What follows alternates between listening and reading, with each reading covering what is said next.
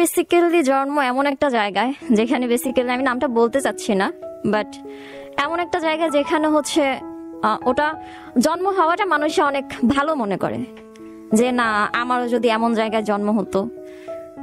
আমার জীবনটা বলতে গেলে আমার একদম নানুর বাড়ি থেকে শুরু করতে হয়। আমার নানা খুব ভালো একটা জায়গায় কাজ করতেন। উনি প্রাইমারি স্কুলের টিচার ছিলেন, সরকারি চাকরি করতেন। সেই সুবাদে আর কি আমার যে মামারা ওনারাও হচ্ছে বেসিক্যালি সরকারি চাকরিজীবী ছিলেন। ওখান থেকে আমার মায়ের খুব কম বয়সে বিয়ে হয়। আমার মায়ের অনেক ভাই বোন ছিল দ্যাটস ওয়াই হচ্ছে খুব কম বয়সে বিয়ে হয়। বিয়ে হওয়ার পরে দেন প্রথম সন্তান ছিলাম আমি। প্রথম সন্তান আমি, আমার বড় মামা আমার মায়ের বিয়েটা দেন। আমার বড় মামা হয়তো বা টাকা দেখে বা আমার দাদুর বাড়ির সম্পত্তি দেখে হয়তো বা আমার মায়ের সাথে আমার বাবার বিয়েটা দেন। মা যখন প্রথমবার শ্বশুর বাড়িতে যায়, তখন আর কি দেখতে পায় যে সেখানে অলরেডি তার আমার বাবার আরেকজন বউ অলরেডি আছে। তো এটা দেখে মা অনেকটা কষ্ট পায়। কষ্ট পাওয়ার পর অলরেডি যেহেতু আমার নানু তখন জীবিত ছিলেন না দ্যাট মিনস আমার নানা ভাই তখন জীবিত ছিলেন না, এজন্য আমার মা কোনো রকম সেটা ম্যানেজ করে নিলেন। প্রথম সন্তান ছিলাম হচ্ছে আমি। আমার বাবা আমাকে প্রচুর আদর করতেন। ইভেন আমার বাবা যতদিন জীবিত ছিলেন, আমাকে কখনো উনি উঁচা গলায় কথা বলেননি। যাই হোক, এরপরে হচ্ছে আমি বেসিক্যালি প্রথম সন্তান হওয়া সত্ত্বে আর মেয়ে হওয়া সত্ত্বে আমার বাবার প্রচুর আদর পাই। তো এটা থেকে আমি ছোটবেলা থেকে একটা জিনিস খুব দেখতাম যে হচ্ছে বাবা মায়ের মধ্যে খুব ঝগড়া হতো। এতই ঝগড়া হতো, এতই ঝগড়া হতো, মারামারি পর্যায়ে সেটা চলে যেত, যে জিনিসগুলো অ্যাকচুয়ালি আমার উপরে খুব বেশি এফেক্ট করতো। আমি খুব ভয় পেতাম যখন আমার বাবা, মা খুব চিল্লা চিল্লি করে ঝগড়াঝাটি করতেন, তারপর হচ্ছে মারামারি করতেন, খুব ভয় পেতাম। আর যেহেতু আমার, আমি মানে বড় সন্তান ছিলাম, আমার মায়ের যত রাগ সেটা বেসিক্যালি যেটা হয়, আমার উপর দিয়ে যেত। উনি বাবার উপর রাগ করলে আমাকে মারধর করতেন, আমাকে বকাঝকা করতেন। এরকম ভাবে চলতে থাকে। যতটুকু আমার যখন থেকে বুদ্ধি হয় তখন থেকে আমি বুঝতে মানে যখন থেকে আমি বুঝতে শিখি তখন থেকে বুঝতে পারি যে না, আমার সংসারে একটা অশান্তি লেগেই আছে। যে আমি একটা জিনিস সবসময় ফেস করতাম যে হ্যাঁ এই না মারধর হচ্ছে, এই না ঝগড়া হচ্ছে। তো তখন থেকে না আমি একটু চুপচাপ টাইপের হয়ে যায় চুপচাপ বলতে এতটাই চুপচাপ যে ভয় পেতাম, মানুষের সাথে মিশতে ভয় পেতাম, মানুষের সাথে খুব কথা কম বলতাম। আস্তে আস্তে এরকম চলতে থাকে। দেন আমার ছোট ভাই হলো, আমার এরপর আমার ছোট বোন হলো। তখনও এই সংসার সংসারের অশান্তি চলতেই থাকে। টুকটাক বাবা দাদুর বাড়িতে চলে যেত তুই এক মাস থাকতো, এরপরে আসতো। মাকে সংসারের টাকা দিত না। এভাবে চলতেই থাকে। আমার মা ভালোই একটা হাতের একটা যে কোনো একটা প্রফেশন খুব ভালো জানতেন, যেটার মাধ্যমে উনি সংসার চালাতেন। তো এই জিনিসগুলো দেখতে দেখতে দেখতে দেখতে আমি আসি। আসি হচ্ছে আমি প্রায় হয়তো বা পাঁচ, ছয় বছরের বয়সে চলে আসি। তখন হচ্ছে গিয়ে আমার বাবা একটা যে কোনো একটা কোর্টে উনি হচ্ছে একটা দোকান দেয়। ওখানে আমি খাবার নিয়ে যেতাম, খাবার নিয়ে আসতাম। মাও একটা যে কোনো একটা মেয়েদের কাজ শেখানোর একটা জায়গায় চাকরি পায়। ওখানে উনি চাকরি করতেন। স্বাভাবিকভাবে ছোট ভাই বোনগুলাকে দায়িত্ব সামলানোর দায়িত্বটা আমার ঘাড়ে চলে আসে। আমি ছোট ভাই বোনগুলোতে খুব মানে ওদের মধ্যে মত্ত থাকতাম। ওদের সাথে সারাদিন খেলাধুলা করতাম, ওদের সাথে পড়াশোনা, আমি খুব ভালো ছিলাম। ইভেন আমাকে স্কুলে সবাই মিষ্টি মেয়ে বলে ডাকতো। বলতো যে মেয়েটা খুব মিষ্টি খুব শান্ত, এভাবে কথাবার্তা বলতো। আমার মাও খুব, আমার মাকে ইভেন ডেকে নিয়ে গিয়ে অনেক বাহবা দিত যে হ্যাঁ আপনার মেয়েটা অনেক ভালো। এরকম। যাই হোক, এভাবে চলতে থাকে। দেন একটা সময় এসে আমার বাবা একেবারের জন্য চলে যায় আমার মায়ের কাছ থেকে। মানে আর আসে না। আমার মা খুব ডিপ্রেসড হয়ে যায়। উনি কি করবে? তিনটা বাচ্চা নিয়ে কি করবে? কোথায় যাবে? বুঝতে না পেরে দেন। করল কি একটা? যে কোনো একটা আশেপাশের যে কেউ একজন সাজেস্ট করল যে, আপনার মেয়েকে এতিমখানায় দিয়ে দেন। ওকে ডান আমার মা ও বলল যে, ওখানে খরচ নেই। ওখানে পড়াশোনা ফ্রিতে করায় খাওয়া দাওয়া ফ্রিতে জাস্ট আপনি বছরে বছরে যে একটা ফি আছে, সেটা দেবেন। ওকে দেন এরকম তিন সংসারের বাচ্চা, সংসার নিয়ে, তিন বাচ্চা সংসার নিয়ে এরকম একটা সংসারে যদি একটা বাচ্চা কমেই যায়, তার দায়িত্ব যদি আরেকটা জিনিসের উপর চলে যায় স্বাভাবিক। যে কেউ চাইবে যে হ্যাঁ চলে যাক, তার ঘাড়ের উপরে থাকুক বা পড়াশোনাও হচ্ছে খাওয়া দাওয়া হচ্ছে। এভাবে যেহেতু আমি বড় ছিলাম, আমার মামাকে দিয়ে দিল মাদ্রাসায়। মাদ্রাসাটা ছিল, ওটা মাদ্রাসায় ছিল, এতিমখানা। আমাকে দিয়ে দেওয়া হলো। দিয়ে দেওয়াটা এমন সময় হয় যে সময়টা বেসিক্যালি আমি দুনিয়া, জগৎ বলতে কিছুই চিনি না। ওই সময়টা আমাকে এমন একটা জায়গায় ঢুকাই দেওয়া হলো যেখানে চারপাশ বন্দি। চারটা দেওয়াল, একটা রুম, ওরকম। আমি গেলাম, যাওয়ার পরে মাথার চুল টুল সব ফেলে দেওয়া হলো। কারণ আরবিও পড়তে হবে, এখন বাংলাও পড়তে হবে, দুইটাই একসাথে টানতে হবে। ওকে, ডান, আমি আস্তে আস্তে করে কোরআন হিফজ করা শুরু করলাম। সাত পাড়া পর্যন্ত মুখস্থ করলাম। এরপরে আমার জন্য অনেক বেশি হেভি হয়ে যাচ্ছিল। বাংলা, আরবি দুটোই অনেক বেশি হেভি হয়ে যাচ্ছিল। এই জন্য দেন আমি মাকে খুব রিকোয়েস্ট করলাম যে, মা, আমার দ্বারা হচ্ছে না, তুমি আমাকে একটা সাবজেক্ট অলরেডি একটু বাদ দাও। আমার দ্বারা এটা অনেক বেশি হয়ে যাচ্ছে। ওখানে একটা জিনিস বলতে গেলে হয় কি, আমার যে টিচাররা ছিলেন, হুজুরা ছিলেন, ওনারা আমাকে প্রচণ্ড আদর করতেন। প্রচণ্ড লেভেলের আদর করতেন। তার একটা রিজনও ছিল এটা, যে হচ্ছে আমি যে মাদ্রাসায় পড়াশোনা করতাম, ওই মাদ্রাসার প্রিন্সিপাল যে, উনি কোনো না কোনো দিক দিয়ে আমার ফ্যামিলি রিলেটিভের সাথে কানেক্টেড ছিল। এই জন্য আমার আমি খুব নাম, যশ মানে খুব সবাই আদর করতো। এক নামে সবাই চেনতো আমাকে। এভাবে চলতে থাকে। আর আমার একটা বিশেষত্ব ছিল হচ্ছে আমি খুব ভালো আর্ট পারতাম, খুব ভালো গান করতে পারতাম যে কোনো জিনিস দেখে দেখে আর্ট করতে পারতাম, গান করতে পারতাম, হামনাদ যে কোনো জিনিস সহজে ক্যাচ করতে পারতাম। এই জিনিসটা আমার মধ্যে খুব ভালো ছিল। এই জন্য সবাই আমাকে খুব ভালো নজরে দেখতো। ফ্রেন্ড সার্কেল ছিল টুকটাক। সবাই মেয়ে, অবশ্য ওখানে ছেলে ছিল না। তো যাওয়ার পরে, প্রায় কিছুদিন পরে আমার পায়ের মধ্যে একরকম একটা অ্যালার্জি দেখা দেয়। অ্যালার্জি দেখা দেয় পরে অ্যালার্জিটা এত বেশি ভাবে এত বাজে ভাবে ছড়ায় যায় আমার পায়ের মধ্যে। যে আমার দুই পায়ে হয়ে গেছে ইভেন আমি হাঁটতে পারতেছি না ভালোভাবে।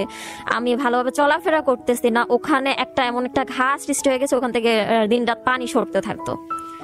খুব বাজে অবস্থা আমার। আমি মানে আমাকে রেগুলার মেডিসিনের মধ্যে দিয়ে যেতে হতো। আমার মা এই জিনিসটা খুব রাগ করতো। মানে ওনার যে টাকা খরচ হচ্ছে সবারই কথা স্বাভাবিক। তখন হয়তো আমি বুঝি নাই, এখন বুঝি।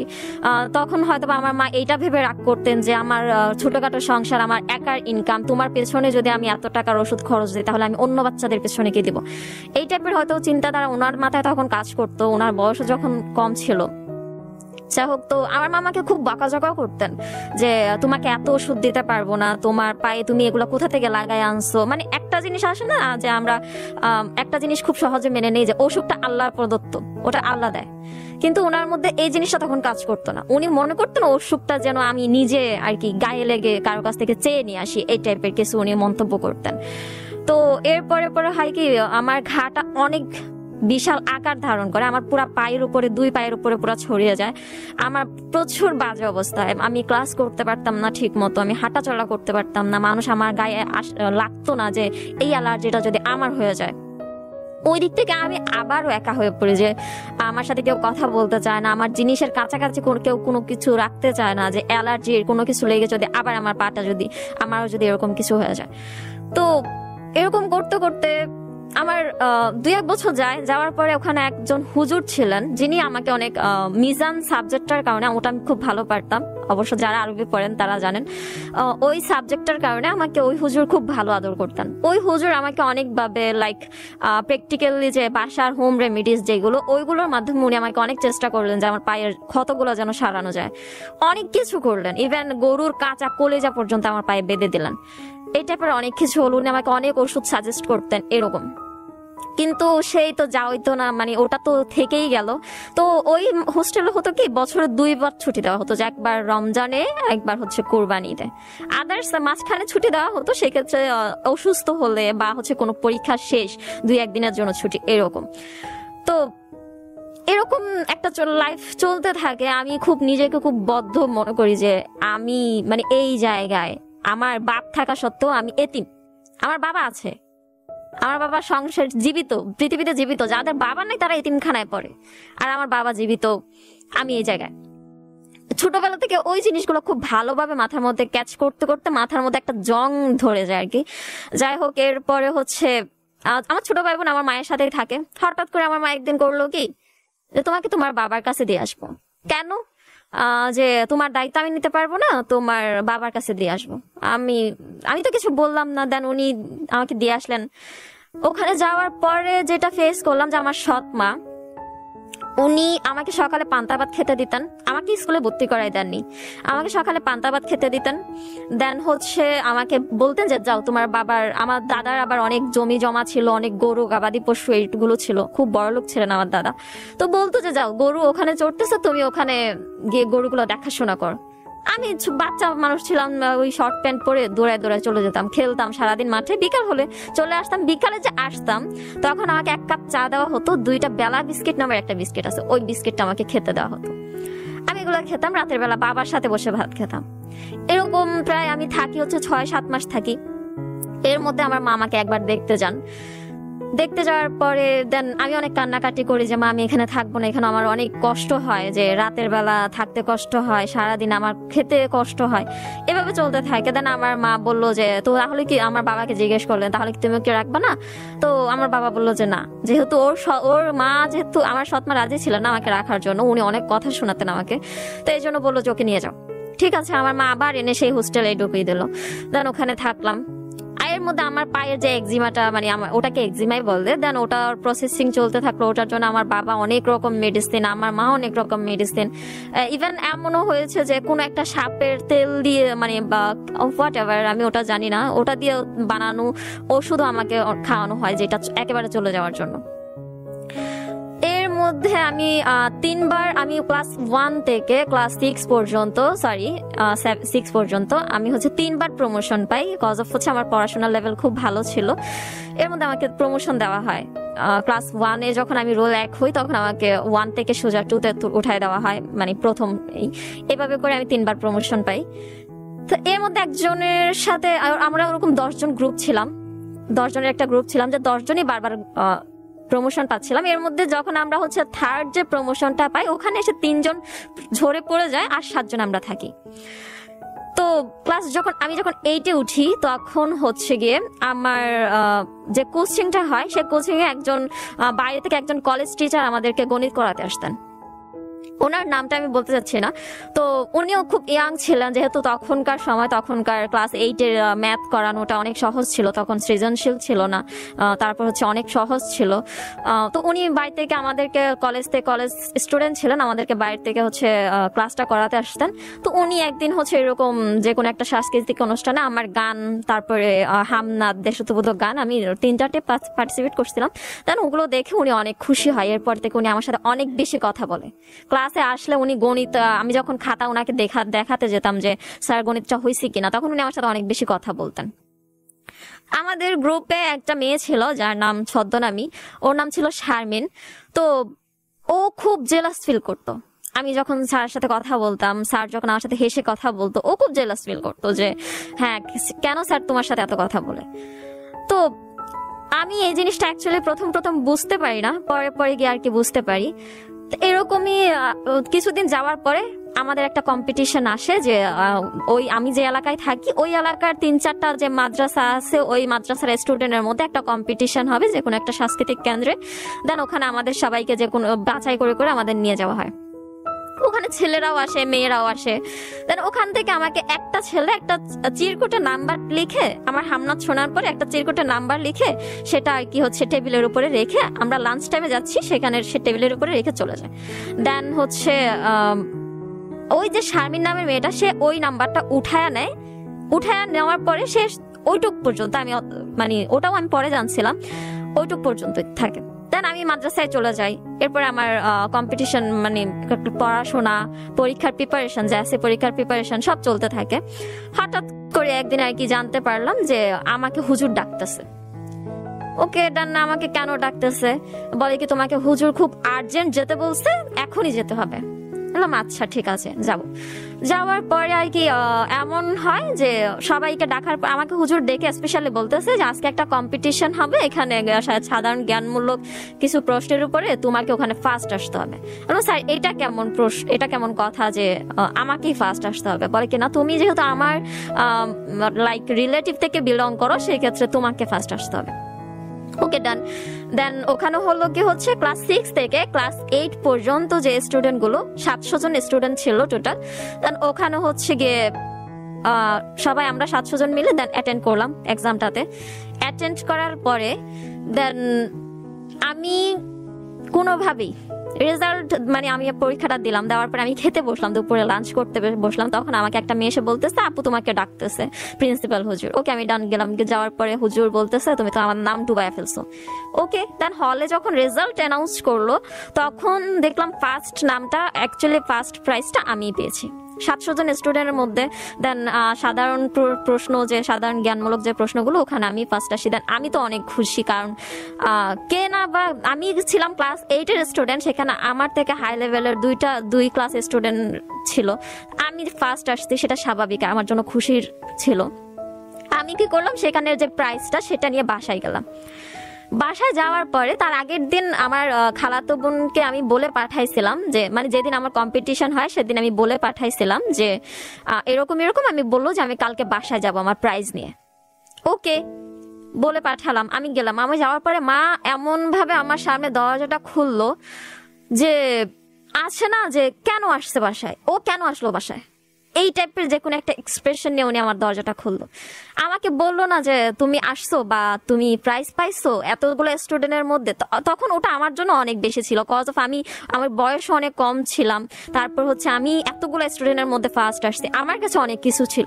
অবশ্য এখন যেভাবে দেখি যে স্টুডেন্ট মাই স্টুডেন্টের মায়েরা স্টুডেন্টদেরকে ইন্সপায়ার করে যে হ্যাঁ এইভাবে করো, ওইভাবে করো।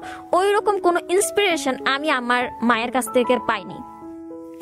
যাই হোক, তো আমি যখন মা যখন দরজাটা খুললো, মনে হলো যে মায়ের কোনো কিছু আসেই যায় না। আমি আসলাম কি গেলাম, বা হচ্ছে আমি প্রাইজটা জিতলাম বা হারলাম। আমি আস আস্তে করে প্রাইজটা রেখে দেন রুমে গেলাম। রুমে যাওয়ার পরে দেখলাম যে আমার মা আমার সাথে কোনো কথাই বলেন আমি জিজ্ঞেস করলাম, মা, ভাত আছে? তো মা বলল যে হ্যাঁ আছে, তুমি খাও। ওকে আমি খেলাম, খাওয়ার পরে তারপরের দিন চলে গেলাম। আমাকে তারপরের দিন যখন আসছিলাম, তখন আমাকে একটা কথা বলো, যখন আমি মায়ের কাছ থেকে টাকা চাই যে বাসায় মাদ্রাসায় যাব, গাড়ি ভাড়ার টাকাটা দাও। তখন বলে কি, বারবার বাসায় আসা লাগে কেন? তখন মনে হলো যে না, মা আসলে আমার বাসায় আসাতে খুশি হয়নি। তারপর চলে গেলাম। যাওয়ার পরে আমি খুব আমি খুব আপসেট ছিলাম। খুব বেশি আপসেট ছিলাম। যাই হোক, আমাকে আমার ফ্রেন্ড সার্কেলরা যে কোনোভাবে ইন্সপায়ার করছে, যে কোনোভাবে আমাকে হচ্ছে বলছে যে না, এগুলা তো মন খারাপ করতে হয় না। এর মধ্যে হতো কি, আমি যে মাদ্রাসায় আমার যে টিচাররা ছিলেন ওনারা আমাকে ছোট ছোট যে আর্টগুলো করতাম, ওগুলোর জন্য কেউ আমাকে দশ টাকা দিত, কেউ পাঁচ টাকা দিত, কেউ কিছু গিফট করতো, বা কোনো ছোট ছোট বোনেরা আর্ট করে নিয়ে যেত দেন বলতো যে, আপু, এটা তোমার জন্য। ওদেরকে ঈদে আমি মেহেদি পড়াতাম ওরা আমাকে পাঁচ দশ টাকা দিত। এইগুলো দিয়ে আমার টুকটাক টুকটাক একটু একটু করে চলতেছিল, খুব ভালো লাগতো। তো এই জিনিসগুলো আমার টিচার একদিন প্রিন্সিপাল স্যার বললেন যে হচ্ছে, তুমি চাইলে তোমার গান, যে আর্টগুলো এগুলো চাইলে তুমি আমার যে অন্য স্টুডেন্টগুলো আছে বা তোমার যে ছোট ভাই বোন বোনগুলো আছে, তুমি তাদেরকে শেখাতে পারো। আমি ওদেরকে আলাদাভাবে একটা ক্লাস নেওয়া শুরু করলাম, সেটা ছিল শুক্রবার। যাই হোক, ওরকম শুক্রবারে আমার হচ্ছে জেএসসি পরীক্ষা জাস্ট হচ্ছে বাংলা পরীক্ষাটা হয়েছে। তার তারপরে মেবি আমাদের আরবি পরীক্ষা ছিল, আরবি ফার্স্ট পেপারের পরীক্ষা ছিল, তার মাঝখানে হচ্ছে কুরবানির একটা গ্যাপ পড়ে গেছে। দ্যাটস ওয়াই ওই কয়দিন বন্ধ ছিল, তিন দিন বা পাঁচ দিন বন্ধ ছিল। তখন হঠাৎ করে হচ্ছে আমি ওনা ওদের ক্লাস নিচ্ছিলাম, হঠাৎ করে আমাকে একজন বলল যে হুজুর তোমাকে ডাকতেছে। ওকে ডান গেলাম। যাওয়ার পরে দেখি কি একটা ছেলে দাঁড়িয়ে আছে ছেলেটা ছিল যে আমাকে ওই যে আমি বলছিলাম যে আমাকে একটা কম্পিটিশন একটা ছেলে চিরকুটে একটা নাম্বার দিয়েছিল, ওই ছেলেটা দেখি সে সামনে দাঁড়িয়ে আছে। হুজুর বলল কে চেনো?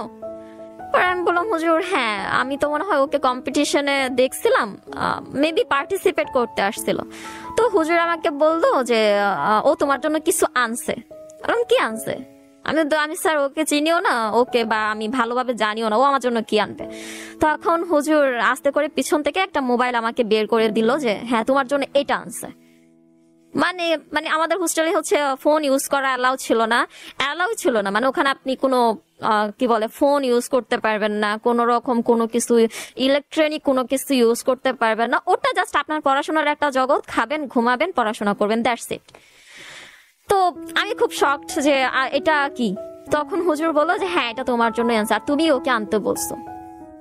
ওকে আমি তো, আমি পুরো অনেক শখ যে, আমি আনতে বলব ছেলেটার সাথে। আমি ওই ফার্স্ট দেখা সাংস্কৃতিক কেন্দ্রে, এরপরে তার সাথে আর কোনো দেখা সাক্ষাৎ হয়নি। তাহলে আমি তাকে কীভাবে আনতে বললাম? ছেলেটা বলল হ্যাঁ ওই আমাকে ফোনটা আনতে বলছে। আমি তো মানে পুরো আসমান থেকে পড়লাম যে, এটা কি করে হয়? যাকে আমি কখনো তা হাই হ্যালো বলিনি, সে কীভাবে, আমি তাকে কীভাবে বললাম যে, ফোন আনো? বলল যে হ্যাঁ তুমি বলছো যে, প্রশ্ন পাওয়ার জন্য ক্লাস এইটে পরীক্ষা শুরু হয়েছে, এখন প্রশ্ন লিক হয়, লিক ওই প্রশ্নগুলো পাওয়ার জন্য তুমি তাকে ফোনটা আনতে বলছো। দেন আমি বললাম যে, না, আমি ওকে বলিনি। ও ছেলেটা বলতেছে, এই বলছে। আমি বললাম, আমি বলিনি। যাই হোক, হুজুর বেসিক্যালি প্রমাণে বিশ্বাসী। প্রমাণ বলতেছে, ছেলেটা বলতেছে, আমার জন্য আনছে প্রমাণ তার হাতে। হুজুর আমাকে এত বেশি মারছিল মানে যে ব্যাত আছে, মাদ্রাসায় কি দিয়ে মারা হয় আমি জানি, আপনারা জানেন কিনা জানি না। ওটা ওখানে যে ব্যাত গাছ আছে ব্যাত গাছে হচ্ছে প্লাস্টার পেছানো হয়, দেন হচ্ছে ওটা দিয়ে মারা হয়। আমাকে পুরো হলে সব স্টুডেন্টদেরকে ডাকানো হয়েছে, দেন পুরো হলে সবার সামনে আমাকে এত বেশি মারছে, এত বেশি মারছে মানে একটা গরুকে হয়তো বা যখন আমরা মাঠের মধ্যে চড়াতে নিয়ে যাই, তখন হয়তো আমরা এত মারি না। অনেক বেশি মারছিল। মারার পরে দেন আমি তো রুমে গেলাম আমাকে ধরে ধরে রুমে নিয়ে যাওয়া হলো। আমার আহ, শরীরে অনেক জায়গা থেকে রক্ত বের হচ্ছিল। আমাকে রুমে নিয়ে যাওয়া হলো।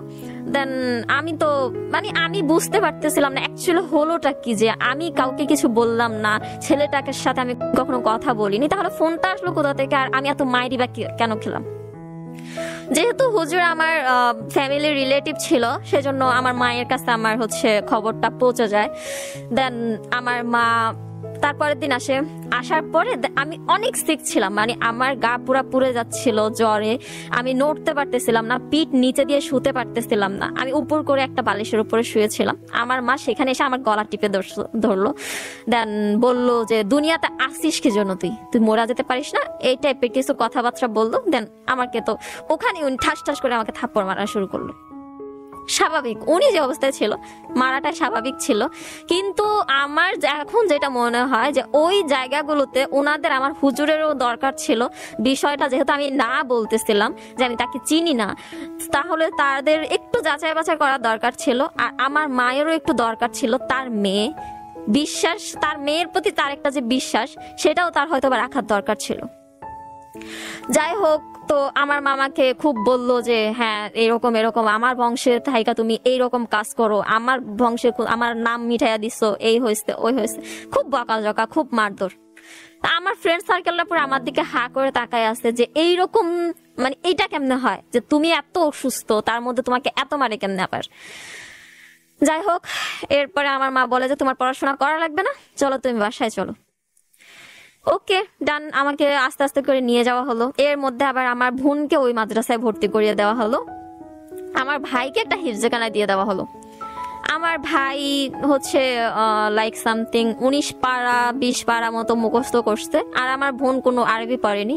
সে আরবি লাইনে পড়াশোনা করছে বাট আরবি সাবজেক্ট নিয়ে পড়াশোনা করেনি।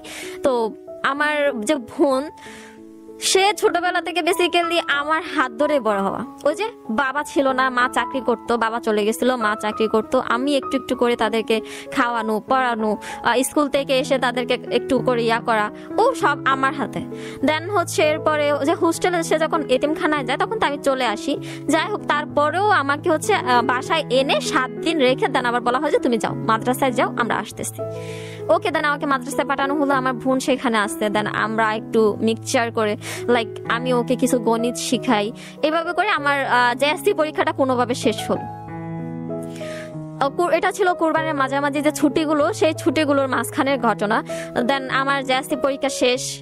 আমার মা হচ্ছে এর মাঝখানে আমার মা একদিন আমাকে মারার পরে আমার মা একদিন আমার হলে যায়, যে আমি যেখানে আমি পরীক্ষা দিতে যাই বেসিক্যালি সেই দিন আমার গণিত পরীক্ষা ছিল। আমার মা আমাকে জড়িয়ে ধরে কান্না করে। কান্না করার পরে দেন আমি মনে করছি যে, না, আমার মা মনে কর, আমার মা মেয়েকে মারছে। এই টাইপের ভুল থেকে কিছু কান্নাকাটি করছে। সে আবার তারপরের দিন হোস্টেলে এসে বলে যে তোমাকে যে কালকে ধরে কান্না করলাম না, তুমি ভাইবো না যে ওটা তোমার জন্য সিম্পেতি টাইপের কিছু কান্না টান্না। আমি তখন দোয়া করছি, আল্লাহ যেন তোমার দুনিয়ার থেকে উঠে আনে। তখন আর কি মনে হলো যে না, আমিও মেবি মানে কোনো এক জায়গায় আটকে আছি। যাই হোক, আমি ক্লাস নাইনে উঠলাম। উঠার পরে দেন একদিন ওই রকম ইয়া পরীক্ষা সরি কুরবান চলতেছে দেন ওখানে হচ্ছে সবার গার্ডিয়ান আসতেছে, ছুটি দেয়নি আমাদেরকে, কারণ আমাদের যেহেতু পরীক্ষা ছিল এই জন্য আমাদের ছুটি দেওয়া হয়নি। তো সবার গার্ডিয়ান আসতেছে, সবার গার্ডিয়ান কেউ বাটি ভরে গুস্ত নিয়ে আসতেছে, সে কেউ হচ্ছে রুটি নিয়ে আসতেছে, অনেক কিছু। আমার ছোট বোন যেহেতু ছোট ছিল, সেজন্য তাকে ছুটি দেওয়া হয়। দেন হচ্ছে আমি কোনো রকম এক গার্ডিয়ান থেকে ফোন নিয়ে আমার মাকে ফোন দিলাম। বিকাল হয়ে গেছে, আমার জন্য কিছু আসতেছে না। আমারও তো মনে চাচ্ছে যে আমিও ফ্যামিলি আমার ফ্যামিলি থেকে কিছু আসুক বা আমিও কিছু খাই। দেন হচ্ছে আমার মাকে আমি ফোন দিলাম। আমার মাকে ফোন দিয়ে বললাম যে, মা, তোমরা আসবা না? তো মা বলল যে, আশা লাগবে? কারও আশা লাগবে? পরে আশা লাগবে, এই কথাটা শোনার পরে আমার মনে হলো যে, তাদের অ্যাকচুয়ালি আসার কোনো ইন্টারেস্ট নাই। তাহলে আমি বললাম, না থাক, কালকে আসলেও চলবে, আজকে আসা লাগবে না। বলে কি, আজকে তো বাসায় কাজ অনেক, আজকে আসা যাবে না, আমি কালকে রিফাত সরি যে রিফাতকে পাঠাই দেবো। ওকে, ডান। তারপরের দিন দেখলাম আমার ভাই কিছু গোস্ত নিয়ে আসলো। আসার পরে, দেন আমার না খুব কষ্ট লাগল যে কালকে সবাই খাইছে, ঈদের প্রথম দিন, আমি প্রথম বাচ্চা, আমি আমার মায়ের প্রথম বাচ্চা, সবাই কালকে একটু একটু করে খাইছে, আমাকে সবাই একটু একটু করে খাওয়াই দিছে, তাদের বাড়ি থেকে আনা জিনিস, আর আমি তার পরের দিন খাচ্ছি। স্বাভাবিক ওই বয়সে আমার বুদ্ধিতে যতটুকু আসছে, আমার ব্রেনে যা ধরছে, ওই অনুযায়ী আমি একটু কষ্ট পেলাম। তারপর হচ্ছে গিয়ে, এরপরে আস্তে আস্তে চলতে থাকে। এর মাঝখানে হয় কি হচ্ছে, আমার এক ভাইয়ের বিয়ে হয়, তো ওখানে আমাকে ছুটি নিয়ে নিয়ে যাওয়া হয়। আমার তখন বেসিক্যালি আমি খুব বয়সে ছোট ছিলাম, যেহেতু আমি প্রমোশন নিয়ে পড়াশোনা করছি, বয়সে ছোট ছিলাম, এ মানে আমার ক্লাসটা একটু বেশি হয়ে গেছিল। তো তখন হয় কি যে সবাই আমাকে অনেক ইয়া নিয়ে তাকায় আসছে যে এই কার মেয়ে? কারণ আমাকে কখনো দেখেনি। আমি অনেক ছোটবেলা থেকে হোস্টেলে চলে গেছি। এ কার মেয়ে? এত সুন্দর মানে হচ্ছে চুল টুল এত সুন্দর, এত ভদ্র, এটা কার মেয়ে? সবাই চুল টুল আমার ইভেন আমার আমার চুল এত সুন্দর ছিল, আমার চুলটা সবাই ধরে দেখল যে, এটা অ্যাকচুয়ালি আসল চুল না নকল চুল? যাই হোক, আমার মাও খুব প্রাউড ফিল করল যে, আমাকে সবাই এত ভালো বলতেছে। তারপর আমি বিয়ে অ্যাটেন্ড করার পরে বাসায় গেলাম। বাসায় যাওয়ার পরে যে ছেলেটাকে হচ্ছে যে ছেলেটা আমার জন্য ফোন নিয়ে আসছিল বেসিক্যালি ওই দিন আমি জানতাম না বাট ওই দিন ওই ছেলেটাকেও অনেক মারা হয়। আমার যে হুজুরা ছিলেন, ওনারা, ওনা, ও, ওই ছেলেটাকেও ধরে অনেক মারা- মারে। তো স্বাভাবিক একটা যুবক ছেলেকে যদি কেউ ধরে মারে, একটা জেদ থেকেই যায় যে হ্যাঁ কেন এরকম করল আমার সাথে? ওই মেয়ের কারণে কেন এত কিছু হবে? ওই মেয়ে কেন এই, আমার এইটা হবে? এই টাইপের ওর মধ্যে হয়তো কোনো জেদ কাজ করছে। দেন ও হচ্ছে প্রতিদিন মাদ্রাসার সামনে এসে দাঁড়ায় থাকতো। প্রতিদিন মাদ্রাসার সামনে এসে দাঁড়ায় থাকতো। যেহেতু আমি ভিতরে ছিলাম, আমি বাইরে যেতে পারতাম না, সেহেতু সে এমন বা জায়গায় দাঁড়াতো, যে জায়গাটাতে আমার ক্লাস ছিল, সোজাসুজি হচ্ছে সে রোডের ওই পাশে দাঁড়ায় থাকতো। মানে তাকে খুব স্পষ্ট দেখা না গেলেও দেখা যেত। যাই হোক, স্বাভাবিক, যেহেতু ওইটা আমার মাদ্রাসা এরিয়া ছিল, হুজুরদের আনা গোনা লেগেই থাকতো ওনারা কোনোভাবে বিষয়টা খেয়াল করেন। খেয়াল করার পরে, দেন হচ্ছে ওনারা আমার ফ্যামিলি মা, মামা, মাকে বিচার দেন যে হচ্ছে এরকম এরকম ব্যাপার, তে মানে এরকম, এটা তো ঠিক না। ছেলেটা প্রতিদিন এসে দাঁড়ায় থাকে, এটা তো ঠিক না। আমার মা আবার আমাকে এসে দেখা করতে আসে, দেখা করতে এসে আমাকে প্রচুর লেভেলের কিছু কথা শোনায়, যেগুলো বেসিক্যালি একটা মা একটা মেয়েকে বলে না। আর হচ্ছে যেইগুলা বেসিক্যালি একটা মা হয়ে একটা মেয়েকে বলার আগে বিবেকে বাদে যে, আমি আমার মেয়েকে এ কথাগুলো বলব? বা মানে এইগুলো আমরা সচরাচর কারও ক্ষেত্রে ইউজ করি না হয়তোবা। হয়তোবা তখন আমার মা ইউজ করছে রাগের বসে আমি জানি না, হয়তোবা ইউজ করছে। তো, এরপর হয় কি ওই দিন আমার খুব মন খারাপ ছিল। মন খারাপ থাকার পরে আমার এক ফ্রেন্ড ছিল, খুব বেস্ট ফ্রেন্ড ছিল। সে আমাকে হঠাৎ করে ঘুম থেকে, আমি খুব মন খারাপ করে ঘুমাচ্ছি, তো সে আমাকে এসে বলল, চল, ওঠ। বললাম, কেন? বলতে কি হচ্ছে শারমিনকে ধরে নিয়ে যাওয়া হয়েছে। এটা হচ্ছে ওই শারমিন, যেই শারমিনটা জেলাসি ফিল করতো যে ওই ম্যাথ টিচারটা আমার সাথে কেন কথা বলে। তো বলে কি, শারমিনকে ধরে নিয়ে যাওয়া হয়েছে। কোথায় ধরে নিয়ে যাওয়া হয়েছে? বলে কি, ওকে হলে নিয়ে গেছে। হুজুররা সবাইকে যেতে বলছে হলে চল। গেলাম, যাওয়ার পরে জানতে পারলাম যে শারমিনের, শারমিন মাদ্রাসার ভিতরে যে কোনো ভাবে লুকিয়ে একটা ফোন ইউজ করতেছিল। যাই হোক, জানার পরে তো স্যারেরা কি করল যে ফোনে যাদের যাদের নাম্বার ছিল তাদের সবাইকে মাদ্রাসায় ডাকছে। ভাগ্যবশত সেখানে ওই ছেলেটাও চলে আসে, যে ছেলেটা বেসিক্যালি এত যে ছেলেটার কারণে আমি এতগুলো মায়ের খেলাম, যে ছেলেগুলো, ছেলেটার কারণে আমার মা আমাকে এত বেশি কথা শোনালো, আমার মামাকে এত মারলো।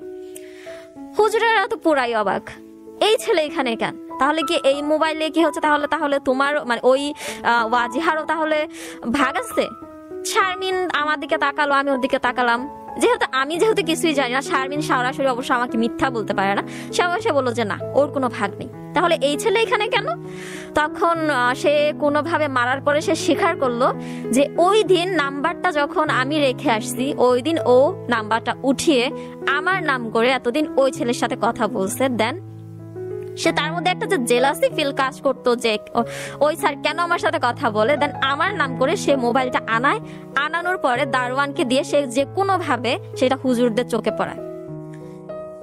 চাচ্ছিল সে যাতে আমি মাদ্রাসা থেকে রেস্ট্রিকশন নিয়ে কোথাও মানে আমাকে যেন রেস্ট্রিকশন দিয়ে দেয় যে আমি এই মাদ্রাসায় পড়তে পারব না, এই টাইপের কিছু। যাই হোক, এটা প্রমাণ হয়। প্রমাণ হওয়ার পরে অনেক মানে অনেক ডিটেলসে প্রমাণ হয়, সেটা তাকে, ওই ছেলেকে জব, ইয়া করা হয় যে ফোনে কথা বলো, যে ওই পাশ থেকে ফোনে কথা বলো, দেখো ভয়েস সেম কিনা, আমাকে দিয়ে ফোনে কথা বলানো হয়, যে ভয়েস সেম কিনা। দেন হচ্ছে তুমি কখন শারমিনকে জিজ্ঞেস করা হয়, তুমি কখন কখন কথা বলছো? দেন ওই ছেলেকে জিজ্ঞেস করা হয়, তুমি কখন কখন কথা বলছো? দুইজনের প্রমাণগুলো মিলানোর পরে দেখে যে হ্যাঁ অ্যাকচুয়ালি ওদের এই মিল আছে। তখন হুজুর আমাকে এসে বলল যে সরি তোমাকে শুধু শুধু এত লাঞ্ছিত হইতে হলো। তখন আমি হুজুরকে একটা কথা বলছিলাম যে, হুজুর, আপনি এখন আমাকে সরি বলতেছেন, কিন্তু আমি যে এই কয়দিনে আমি যা টলারেট করছি, আপনি যে আমাকে মারছেন বা আমার মা আমাকে যা যা করছে, এই জিনিস, এই দিনগুলো আপনি আমাকে ফিরাই দিতে পারবেন না। সরি বললে তো সবকিছু হয় না। এই দিনগুলো আপনি আমাকে ফিরে দিতে পারবে না। যাই হোক, এই যে প্রমাণগুলো হলো, এই জিনিসটা কিন্তু আমার মায়ের কানে পৌঁছায়নি। আমার মা অতটুকুই জানে যে আমার একবার একটা ছেলে আমাকে ফোন দিতে আসছে। একটা ছেলে আমার জন্য রেগুলার বাইরে দাঁড়ায় থাকে। এই জিনিসগুলাই জাস্ট আমার মা জানে। আমার মা এটা জানে না। যেহেতু মাদ্রাসার নাম খারাপ হবে ওর যে ফোন কলস ওখানে অনেক একটু নামি দামি কেউ আসার কারণে বলছে যে যেহেতু মাদ্রাসার নাম খারাপ হতে পারে বা এই টাইপের কিছু হওয়ার কারণে সে ওই কথাটা লিক করা হয় না। দেন আমার মাকেও ভুল বশত বা জানা বশত করছে, আমি জানি না। আমার মাকে এই জিনিসটা জানানো হয় না। আমার মা সেম ভুলের মধ্যে কাটতে থাকে যে হ্যাঁ আমার মেয়ে তো এই এই কাজ করে, এসে আমাকে হঠাৎ করে বলেন যে, চলো বললাম কোথায়? তখন আমার হচ্ছে ক্লাস নাইন প্রথম সেমিস্টার এরকম শেষ হয়। তখন আমার বাবা বলল, চলো ওকে ডান আমাকে বলো যে, বলল যে তোমাকে আর হোস্টেলে থেকে পড়াশোনা করতে হবে না এতিমখানায় থেকে পড়াশোনা করতে হবে না, তুমি এখন বাহির থেকে আসা যাওয়া করে পড়াশোনাটা করবে। নিয়ে যাওয়া হলো, আমার ছোট বোন সেই হোস্টেলেই থাকল, আর হচ্ছে গিয়ে আমার যে ভাই, সেও তার হোস্টেলে। আমাকে বাসায় নিয়ে যাওয়া হলো। আমি বাসায় গেলাম। আমি প্রতিদিন বাহির থেকে আসা, যাওয়া, করে করে পড়াশোনা করলাম, যে আসতাম, যেতাম আসতাম, যেতাম। আমাদের কিন্তু হচ্ছে তখন ক্লাস ফাইভের যারা ঊর্ধ্বে, তাদেরকে হচ্ছে নেকআপ পড়তে হতো, বুরখা পড়তে হতো। তারপর আমার মা আমার মায়ের কিছু কিছু বিহেভিয়ার আমার কাছে খুব অদ্ভুত লাগে। যে আমি যখন বাসায় যাই, বাসায় যাওয়ার পরে বেসিক্যালি আমি আমার আমার মা হঠাৎ করে আমাকে একদিন বলে যে, তোমার এত পড়াশোনা, যখন আমি বাহির থেকে আসা যাওয়া পড়াশোনা করি, তখন আমার খরচটা একটু বেড়ে যায় যে আমার পরীক্ষার ফি গুলো দিতে হচ্ছে, আমার রেগুলার আসা যাওয়ার একটা খরচ হচ্ছে, তারপর হচ্ছে গিয়ে আমার লাইক একটা মাসিক একটা ফি হচ্ছে, সেই খরচগুলো আমার মা আমাকে হঠাৎ করে বলল যে, তোমার এত পড়াশোনার খরচ আমি উঠাইতে পারব না। ওকে, এখন আমি কি করব? হঠাৎ করে উনি আবার একদিন এসে বললে যে, আমার এক বন্ধুর মেয়ে আছে ছোট, তুমি ওকে পড়াও।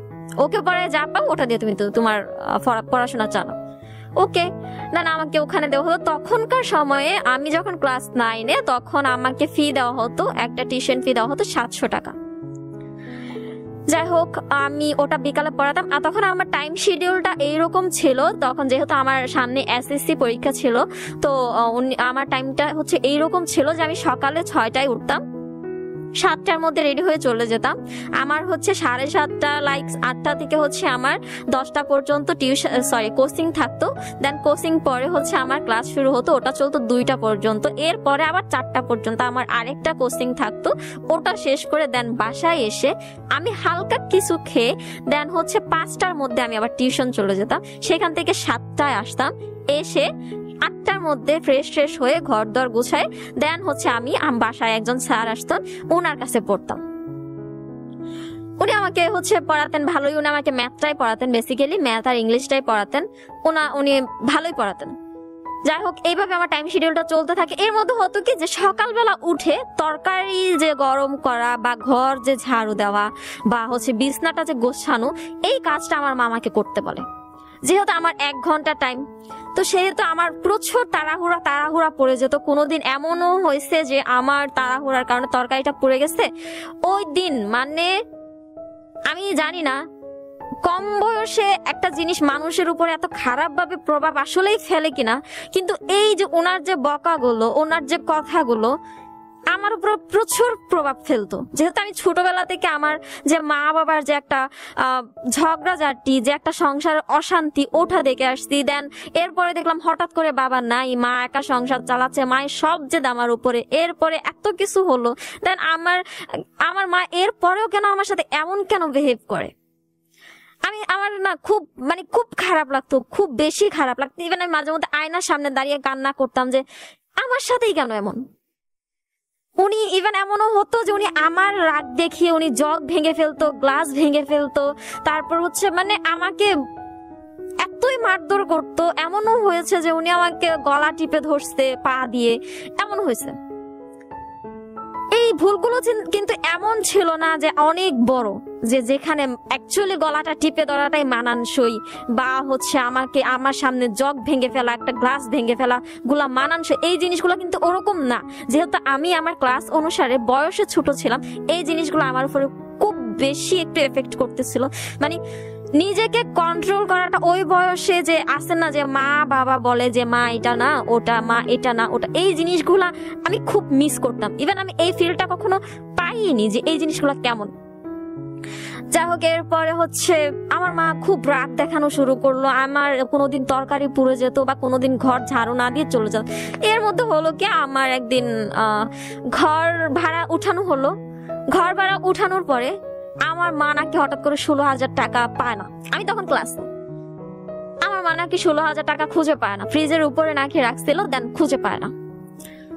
আমি মেবি কোনো বাংলা বাংলা ক্লাস অথবা গার্হস্থ্য ক্লাস যে আপনারা যারা গার্হস্থ্য বিষয়টা জানেন, ওটা বুঝবেন। গার্হস্থ্য যে ক্লাস ছিল, ওটা মেবি করতেছিলাম। তখন আমার, হঠাৎ করে আমাকে একজন দারোয়ান গিয়ে বলল যে, আপনার গার্ডিয়ান আসছে। তো আমার গার্ডিয়ান আমি তো বাহির থেকে আসা যাওয়া করে পড়াশোনা করি, তাহলে আমার গার্ডিয়ান আসবে কেন? পরে বলে কিনা আসছে, আপনি যান। গেলাম, যাওয়ার পরে দেখি হ্যাঁ আমার মা বসে আছেন। তখন আমার মা বলল যে, টাকা টাকা আছে? কিসের টাকা? বলে কি, বাসা থেকে ষোলো হাজার টাকা চুরি হয়ে গেছে। বললাম, বলো কি? পরে বলে যে হ্যাঁ এরকম এরকম যে, আমি ফ্রিজের উপর রাখছি দেন পাচ্ছি না। ওকে দেন আমি আমার প্রিন্সিপাল হুজুরের কাছে গিয়ে হচ্ছে ছুটি নিলাম যে বাসায় টাকা চুরি হয়েছে, এখন আমাকে একটু কাইন্ডলি যেতে হবে দেন আমি ছুটি নিয়ে বাসায় গেলাম, বাসায় গিয়ে যাচাই বাছাই করা এইগুলো এরপরে জানতে পারলাম অ্যাকচুয়ালি আমার মা দেখতে গেছিল যে আমি টাকাটা নিয়ে কোনো রকম পালিয়ে গিয়েছি কিনা। মানে লাইক সিরিয়াসলি এই যেটাও হয় যে মা যাচাই করতে গেছে যে তার মেয়ে তার বাসা ভাড়ার টাকা নিয়ে পালাই গেছে কিনা।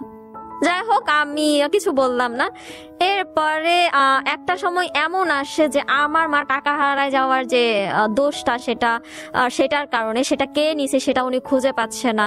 তারপর হচ্ছে যে মানে উনি ওনার মাথার উপর ওই চিত্রা চেপে বসছিল যে আমার মেয়ে ওই জিনিসটা করে আসছে, একটা ছেলের কাছে ফোন চাইছে বা একটা ছেলের সাথে তার তার সাথে প্রতিদিন দেখা করতে আসছে। এই জিনিসগুলো উনি ওনার মাথা থেকে হয়তো বা সরাতে পারতেছিল না। এরপরে উনি হঠাৎ করে আমাকে হচ্ছে বলল যে তোমার বিয়ে দেওয়া হবে। তোমাকে আর রাখা যাবে না। তোমাকে বিয়ে দিয়ে দেব। বিয়ে দিয়ে দিব, আমি ভাবলাম জোকস বিয়ে দিয়ে দিব, এটা আমার কেমন কথা? দেন আমার হচ্ছে যে সাতশো টাকা যে আমি টিউশন ফি পেতাম, ওখান থেকে আমি আমি আমার যে পরীক্ষার ফি যে হচ্ছে টিউশন ফি এইগুলো আমি ওখান থেকে কন্ট্রোল করতাম। ইভেন এমনও হয়েছে যে আমার টিউশন ফি পেতে লেট হচ্ছে। আমার হুজুর জিজ্ঞেস করল যে, মাকসুদা, তুমি কখন দিবা? এরকম। দেন হচ্ছে, আমি বলতাম যে টিউশন ফিটা পেয়ে নেই? দেন দেই। ওকে ডান তো এরকম চলতে থাকে। একটা সময় এসে হচ্ছে আমি খুব একটা টায়ার্ড হয়ে যায় যে আমার দ্বারা অ্যাকচুয়ালি হচ্ছে না। পড়াশোনা এসএসসি পড়াশোনাটা অনেক বেশি থাকে। পড়াশোনা কোচিং একটা টিউশন আমার নিজের একটা লাইফ লিড আছে। সব কিছু মিলাই না একটা আমি একটা মানে একটা জায়গায় আটকে গেছি। তখন একটা, আমার আরেকটা জিনিস যেটা ছিল আমার লাইফে আমি কখনো আমার মাকে বলিনি, মা, আমার খিদা লাগছে, আমাকে খেতে দাও। আছে না যে ক্লাস নাইনে পড়ে। একটা মেয়ের কত চাহিদা থাকে যে আমার কসমেটিক্স লাগবে, আমার একটা কাপড় লাগবে বা আমার এক জোড়া জোতা লাগবে, আমার একটা বোরখা নষ্ট হয়ে গেছে, আমার একটা হিজাব নষ্ট হয়ে গেছে। এই জিনিসগুলো আমি আমার মাকে কখনো বলিনি। আমি হিসাব দিয়ে এমনও গেছে, আমি পুরো এক বছর চালিয়ে দিছি। তো মানে খুব ছোটবেলা থেকেই ওই চাপা স্বভাবের চাপা স্বভাবের হয়ে যেতে যেতে বড় হয়েও কেন জানি মনে হতো যে আমি এই জিনিসটা চাইলে মনে হয় আমাকে বকা দিবে। তরকারি রান্না করতো মা, ওখানে যদি কোনো ভুল ত্রুটি হতো যে হলুদের পানি আনতে বলছে, আমি আমি ভুল করে অন্য পানি নিয়ে আসতাম এক জায়গার পানি নিয়ে আসতে বলছে, ওগুলো মা আমার আমার পায়ের দিকে ধাক্কা মেরে ফেলাই দিত। এটা কেন? ওটা না কেন? এর মধ্যে হলো হলো কি যে আমার বিয়ের কথা চলবে চলবে এরকম ভাবতে, এর মধ্যে হলো কি আমার যে মাদ্রাসা, ওই মাদ্রাসাতে যে কোনো একটা ঘটনা ঘটে যে বাইরের লোকজন যে জমি যে খসাখসি হয় সেই রকম একটা ব্যাপার নিয়ে। দেন হচ্ছে ওনারা একটা ঝগড়া বিবাদে বেঁধে গেলেন। তো ওখানে বেসিক্যালি বাইরে থেকে পাথর ছোড়া বাইরে থেকে আগুনের বোতলে ভরে- আর কি কেরোসিন, আগুন এইগুলো ফেলা, এইগুলো এরকম একটা ঘটনা ঘটে। তো ওখানে স্টুডেন্টরা যার যার মতো যে যেদিক দিয়ে পালাচ্ছে, যে যেদিক দিয়ে পারতেছে ওভাবে পালায় যাচ্ছে। আমি আমার ছোট বোনটাকে নিলাম, নিয়ে দেন ও তখন প্রায় আমার কোচিং শেষ হতে শেষ হতে আসরের টাইম হয়ে গেছে দেন ওই ঘটনার কারণে মাগরিবের টাইম হয়ে গেল। মাগরিবের টাইম হয়ে যাওয়ার কারণে আমি কি করলাম, রাতের বেলা অনেক বৃষ্টি পড়তেছিল তখন। তখন আমার মাদ্রাসা প্রায় অর্ধেক ভাঙচুর স্টুডেন্টরা এদিক থেকে ওদিক দৌড়াদৌড়ি। আমি আমার ছোট বোনটাকে কি করলাম, আমার কাছে যেহেতু টাকা ছিল না, ওই সময়ে আমার মাথায় এই বুদ্ধিটা ছিল না আমি বাসার সামনে পর্যন্ত যাব, টাকাটা ওখান থেকে নিয়ে দিয়ে দিব। আমি কি করলাম, আমার কাছে যা টাকা ছিল, ওই টাকাটা দিয়ে আমার বোনের যে জিনিসপত্রগুলো, ওগুলো একটা রিক্সাতে দিয়ে আমার বোনকে রিক্সা উঠে দিয়ে বললাম, যাও। আমি আসতেছি, হেঁটে হেঁটে আসতেছি। ওকে, উনি গেল, ও গেল। যাওয়ার অনেকক্ষণ পরে আমি পৌঁছালাম। স্বভাবগতভাবে যেহেতু বৃষ্টি পড়তেছে, আমি ভেজা থাকব, আমার চুল, আমার মা সবকিছু অগোছালো থাকবে, যেহেতু আমি এত বড় আমার মাদ্রাসায় এত বড় একটা ঘটনা ঘটছে, সেখান থেকে সেখান থেকে আমি বের হয়ে আসছি। স্বাভাবিকভাবে আমি অগোছালোই থাকব। তো উনি আমাকে দেখে বলল যে, আসছো? দেখা সাক্ষাৎ শেষ? বললাম মানে? বলে কি হ্যাঁ ওকে ওকে আগে পাঠায় দেওয়ার কারণ কি? বেরি যখন হয়েছো তখন দুজন একসাথে চলে আসতে পারল না? তখন আমি বললাম, জিনিসপত্রের কারণে এক রিক্সায় দুইজন বসার চাচ্ছিল না। এই জন্য আমি ওকে আগে উঠাই দিয়ে ওকে পাঠিয়ে দিয়েছি দেন আমি আসছি। ওই দিন আমাকে প্রচুর উনি কথাবার্তা শোনাইলো। ইভেন ওই আমি যে এত বড় মানে এত একটা ঘটনার জায়গা থেকে আসলাম। ওখান থেকে উনি আমাকে সোজা বাথরুমে ঢুকাই দিয়ে বললেন, কাপড় যেগুলো ভিজায় ভিজে আনছো, ব্যাগের সব সব কাপড় ভিজে গেছে, যেগুলো ময়লা হয়েছে, সবগুলো ধুয়ে তারপর তুমি ওয়াশরুম থেকে বের হবা। ওকে। আমি সেই ভিজা অবস্থায় ওয়াশরুমে গেলাম, সব ধুলাম, ধুয়ে দেন বের হলাম। তারপরেও তো কত কথা, এটা, ওটা এটা, ওটা। যাই হোক, এরপরে মা ফাইনালি সিদ্ধান্ত নিল, তোমাকে বিয়ে দিয়ে দেবো। তোমার এত ভণ্ডামি আমার আর সহ্য হচ্ছে না। তোমাকে আর আমার ভালো লাগতেছে না। তুমি এইসব শুরু করছ, আমি তোমাকে বিয়ে দিয়ে দেবো। দেন আমার, আমি টেস্ট পরীক্ষা দিয়ে দিয়েছি অলরেডি তখন এসএসসির জন্য যে একটা টেস্ট পরীক্ষা হয় টেস্ট পরীক্ষাটা তখন আমি অলরেডি দিয়ে দিয়েছি। আমার রেজাল্ট চলে আসছে। আমি আমার লাইফে একটা জিনিস, আমি কখনো কোনো কম্পিটিশন হেরে আসিনি। ইভেন এমনও হয়েছে যে আমি হামনাথ দেশত্ববোধক গান, আর্ট। আমি তিনটা জায়গায় পার্টিসিপেট করছি, আমি তিনটা জায়গা থেকে প্রাইজ নিয়ে আসছি। এমনও হয়েছে যে হচ্ছে মানে এক ঘণ্টার একটা কনভারসেশন কনভারসেশন থেকে একটা আইডিয়া নিয়ে একটা তোমাকে রচনা লিখতে হবে সেখানে অনুযায়ী তোমাকে প্রাইজ দেওয়া হবে নাম্বার দেওয়া হবে, সেখান থেকে আমি প্রাইজ ফার্স্ট প্রাইজ নিয়ে আসছি। আমি কখনো কোনো সাবজেক্টে ফেল করিনি। আমার মা সব সময় আমার আমার ইভেন আমি যে স্কুল মাদ্রাসায় পড়াশোনা করেছি, ওই স্কুল মাদ্রাসার যে প্রিন্সিপাল স্যার ছিলেন ম্যাডাম ছিলেন ওনারা স্পেসিফিকলি আমার মাকে চিনতেন খুব ভালোভাবে। যে হ্যাঁ ও, ওর মা। উনি ওর মা। ও খুব ভালো স্টুডেন্ট এইভাবে চিনতেন। তো স্বাভাবিকভাবে আমি টেস্ট পরীক্ষায় ভালোভাবে রেজাল্ট করলাম। এবার আমার ফাইনাল পরীক্ষার পালা, আমি পড়াশোনা করতেছি ওয়েট করতেছি। হঠাৎ করে আমার মা বললেন যে, তোমার বিয়ে ফাইনাল হোয়াট আমি বললাম, আমার বিয়ে ফাইনাল বলে কি হ্যাঁ তোমার বিয়ে ফাইনাল এরকম এরকম, ছেলে ঢাকাতে থাকে, ভালো, তোমার মামা পছন্দ করছে, তোমাকে ওখানে দিয়ে দেওয়া হবে। কখন বিয়ে? বলল যে হ্যাঁ এই কয়দিনের মধ্যে তোমার বিয়ে, কোনো অনুষ্ঠান হবে না, কোনো কিছু হবে না জাস্ট আমরা নিয়ে গিয়ে তোমাকে দিয়ে আসব। আমি ওই বয়স অনুযায়ী আমি বুঝতে পারতেছিলাম না অ্যাকচুয়ালি যেহেতু আমি যখন বুদ্ধি হয়েছে, এরপরে থেকে যেহেতু আমি হচ্ছে মাদ্রাসায় ছিলাম, একটা চার দেয়ালের ভিতরে ছিলাম, বাইরের জগৎ সম্পর্কে আমার কোনো আইডিয়াই ছিল না। আমি জানতামই না ইভেন এখনও, আমি আমি, আমার যে জন্মস্থানটা, ওই জন্মস্থানটা আমি এখনও ভালোভাবে চিনি না। কারণ বাইরের জগৎ, ওই যে বললাম একটা চাপা স্বভাবের কারণে আমি ভিতরে ভিতরে ভয় পেতাম খুব, যে কোনো জিনিসকে খুব ভয় পেতাম।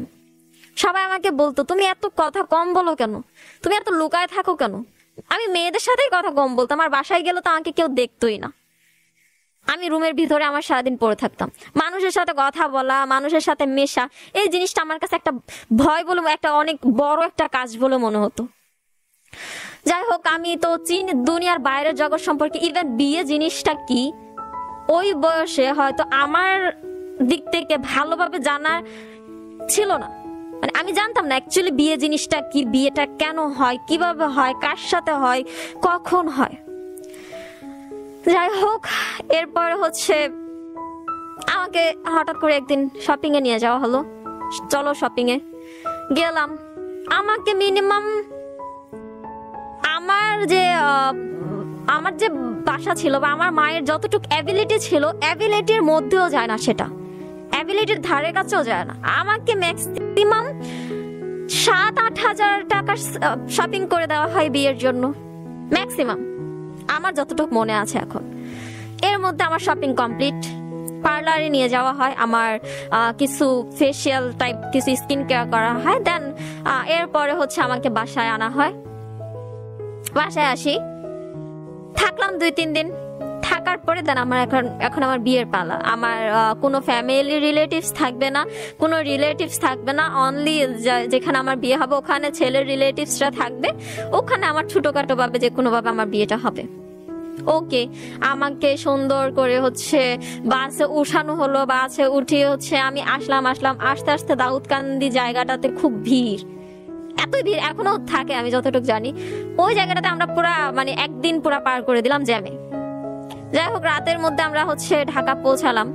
ঢাকা পৌঁছানোর পরে দেন আমার, এই আমার যে হাজবেন্ড উনি আমাদেরকে রিসিভ করতে আসলেন। ও, এর মধ্যে হয় কি, আমার যে হাজবেন্ড উনি বারবার আমার মাকে ফোন দিচ্ছিলেন যে হ্যাঁ আপনারা কোথায় আপনারা কোথায়? কত দূর আসছেন? যেহেতু আমাদের লেট হচ্ছিল। তো আমার মা আমাকে একটা ধমক দিয়ে বলল কি, ওকে বলো বারবার ফোন না দিতে। যে বারবার ফোন দিলে আমার ফোনের চার্জ শেষ হয়ে যাবে। পরে আমি আমি তো ওনাকে অবশ্য কখনো দেখি না ওনার চেহারাটা আমি আমি দেখি না ওনাকে ওনার সম্পর্কে আমি জানিও না। আমি ফোন দিয়ে বললাম যে হ্যাঁ বারবার ফোন দিচ্ছেন? আমার আম্মুর ফোনের চার্জটা শেষ হয়ে যাচ্ছে। আপনি ফোনটা পরে দিন, আমরা পৌঁছালে দেন আমরা আপনাকে জানাব। ওকে ডান উনি আমাদেরকে যে কোনো একটা জায়গা থেকে রিসিভ করেন, রিসিভ করে দেন ওনারা উনি আমাদেরকে বাসায় নিয়ে যান। বাসায় নিয়ে যাওয়ার পরে ওই দিন আমরা, যেহেতু আমরা মাগরিবের পরে পৌঁছাইছি, দেন আমরা রাতের বেলা রেস্ট নিলাম। রেস্ট নেওয়ার পরে পরের দিন সকালে বিয়ের প্রিপারেশন বিয়ের প্রিপারেশন বলতে যাচ্ছে এতটুকুই যে হচ্ছে ছেলের যে ফ্রেন্ড সার্কেলগুলো কয়েকজন খুব কাছের ফ্রেন্ড সার্কেল রা থাকবে, কিছু ছোটখাটো রান্না বান্না হবে, আমাকে টুকটাক সাজিয়ে দেন উঠিয়ে দিয়ে দেওয়া হবে। দেন হচ্ছে আমার আমি অ্যাকচুয়ালি বুঝতে পারতেছিলাম না যে আমার আসলে কি হচ্ছে, আমি কোথায় আসছি। ঢাকা শহর আমি লাইফের ফার্স্ট দেখলাম। আমি যেখানে একটা চার দেওয়ালের বন্দি একটা জায়গাতে মানুষ হয়েছি, এত বড় জিনিস এগুলো কি আমি বুঝতে পারতেছিলাম না। দেন আমাকে পার্লারে নিয়ে যাওয়া হলো, আমাকে টুকটাক সাজানো হলো দেন নিয়ে আসা হলো। ওকে ডান আমাকে হচ্ছে কাজে আসলো, ছবি টবি উঠানো হলো। আমি তখনও ছেলেটাকে দেখি নাই। মানে ছেলেটা ছিল এরকম আমি যতটুকু মানে আমি এই জন্য দেখি নাই, এমন না যে একদিন ছিলাম আমি তাকে দেখি নাই। ইচ্ছে করে দেখি না, কারণ সে এমন একজন পার্সন ছিল। আমি বলছি না যে আমি সুন্দর, আমি বলছি না যে আমি অনেক কোয়ালিফিকেশন ছিল তখন আমার। কিন্তু ছেলেটা এমন ছিল, সে যদি আমার পিছনে অনেক দিনও পড়ে থাকতো, আমি আমি হয়তো তার দিকে ফিরে তাকাতাম না। আমি জানি না, হয়তো তার টাকা ছিল এই জন্য ছিল, কিন্তু আছে না যে মানুষকে দেখলে একটা মানুষের চেহারা একটা মাধুর্য থাকে বা মানুষের একটা সৌন্দর্য থাকে, মানুষের আচার ব্যবহারে একটা সৌন্দর্য থাকে, সেই জিনিসটা আমি তার মধ্যে পাইনি। দ্যাটস আমি তার দিকে তাকাইও নি বিয়ের দিন সাজানো গোছানোর পরে দেন হচ্ছে ছবি উঠানোর পালা, দেন তখন গিয়ে আমি তার চেহারাটা দেখলাম অ্যাকচুয়ালি যাই হোক, এখন কিছু কিছু করার নাই।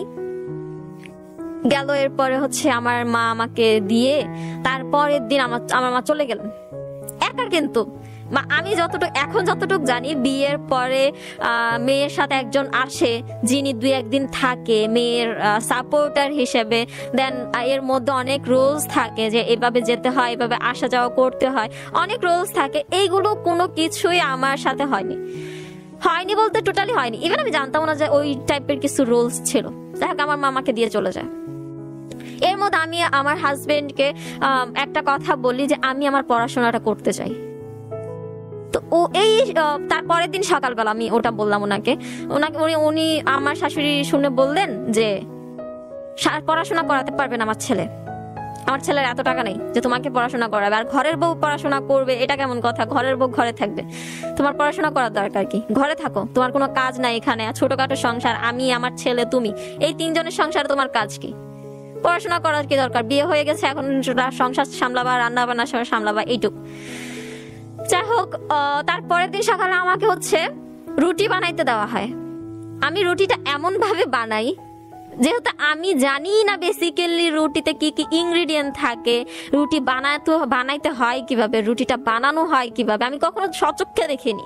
যেহেতু আমি হোস্টেলে পড়াশোনা করেছি দেন ওখানে জাস্ট এইটুকু দেখতাম যে হ্যাঁ রান্না হচ্ছে। আর আমি যেহেতু যখন বাইরে থেকে পড়াশোনা করছি, তখন আমি পড়াশোনার মধ্যে ছিলাম, আমার টিউশনের মধ্যে ছিলাম। আমার কাজ এতটুকুই ছিল, তরকারিটা গরম করো, রান্না করো, কাপড় ধো ঘর দর পরিষ্কার রাখো। দ্যাটস ইট রান্না বান্নার দিকটা আমার ছিল না। এই জন্য আমি জানতাম না যে বেসিক্যালি রান্নাটা কি জিনিস, রান্নাটা কীভাবে করতে হয়।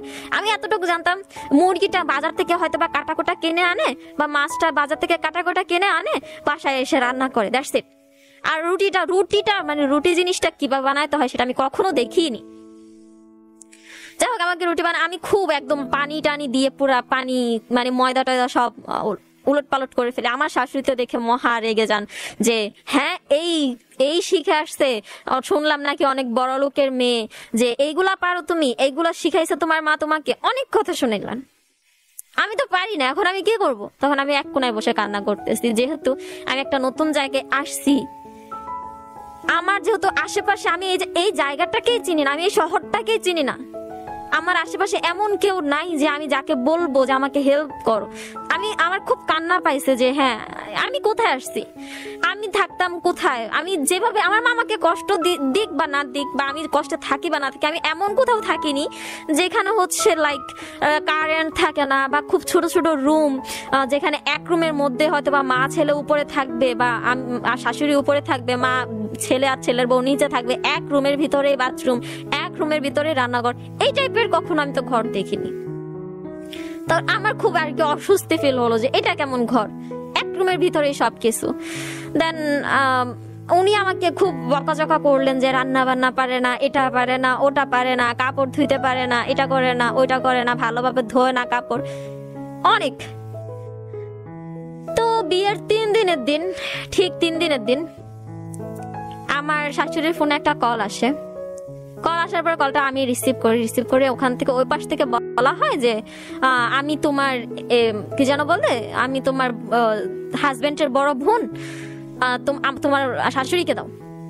এখন আমি এটা জানতাম না, বড় ভাই হাজবেন্ডের বড় বোনকে কি বলে? বড় ভাইকে কি বলে? এটা কি সম্বোধন করে সেটা আমি জানতাম না। তাহলে আমি ওনাকে, আমার শাশুড়িকে বললাম, আপনার বড় মেয়ে কল দিচ্ছে এই জিনিসটা ওনার খুব গায়ে লাগল। আমার হাজবেন্ড কাজ থেকে আসলো, আসার পরে দেন উনি হচ্ছে, আমার হাজবেন্ডকে বিচার দিলেন। তোমার বউ কি এতই বড় লোকের মেয়ে যে আমার ওর কি ননাস বলতে বা বড় আপা বলতে ওর গায়ে লাগছে? তখন আমার হাজবেন্ড ঠাস করে আমার গায়ের মধ্যে, গালের মধ্যে একটা ওনার সামনে ঠাস করে একটা থাপ্পড় বসিয়ে দিলাম আমি অ্যাকচুয়ালি আমি কি জন্য থাপ্পড়টা খেলাম, আমি নিজে বুঝতে পারিনি। কেন কেন মারলো?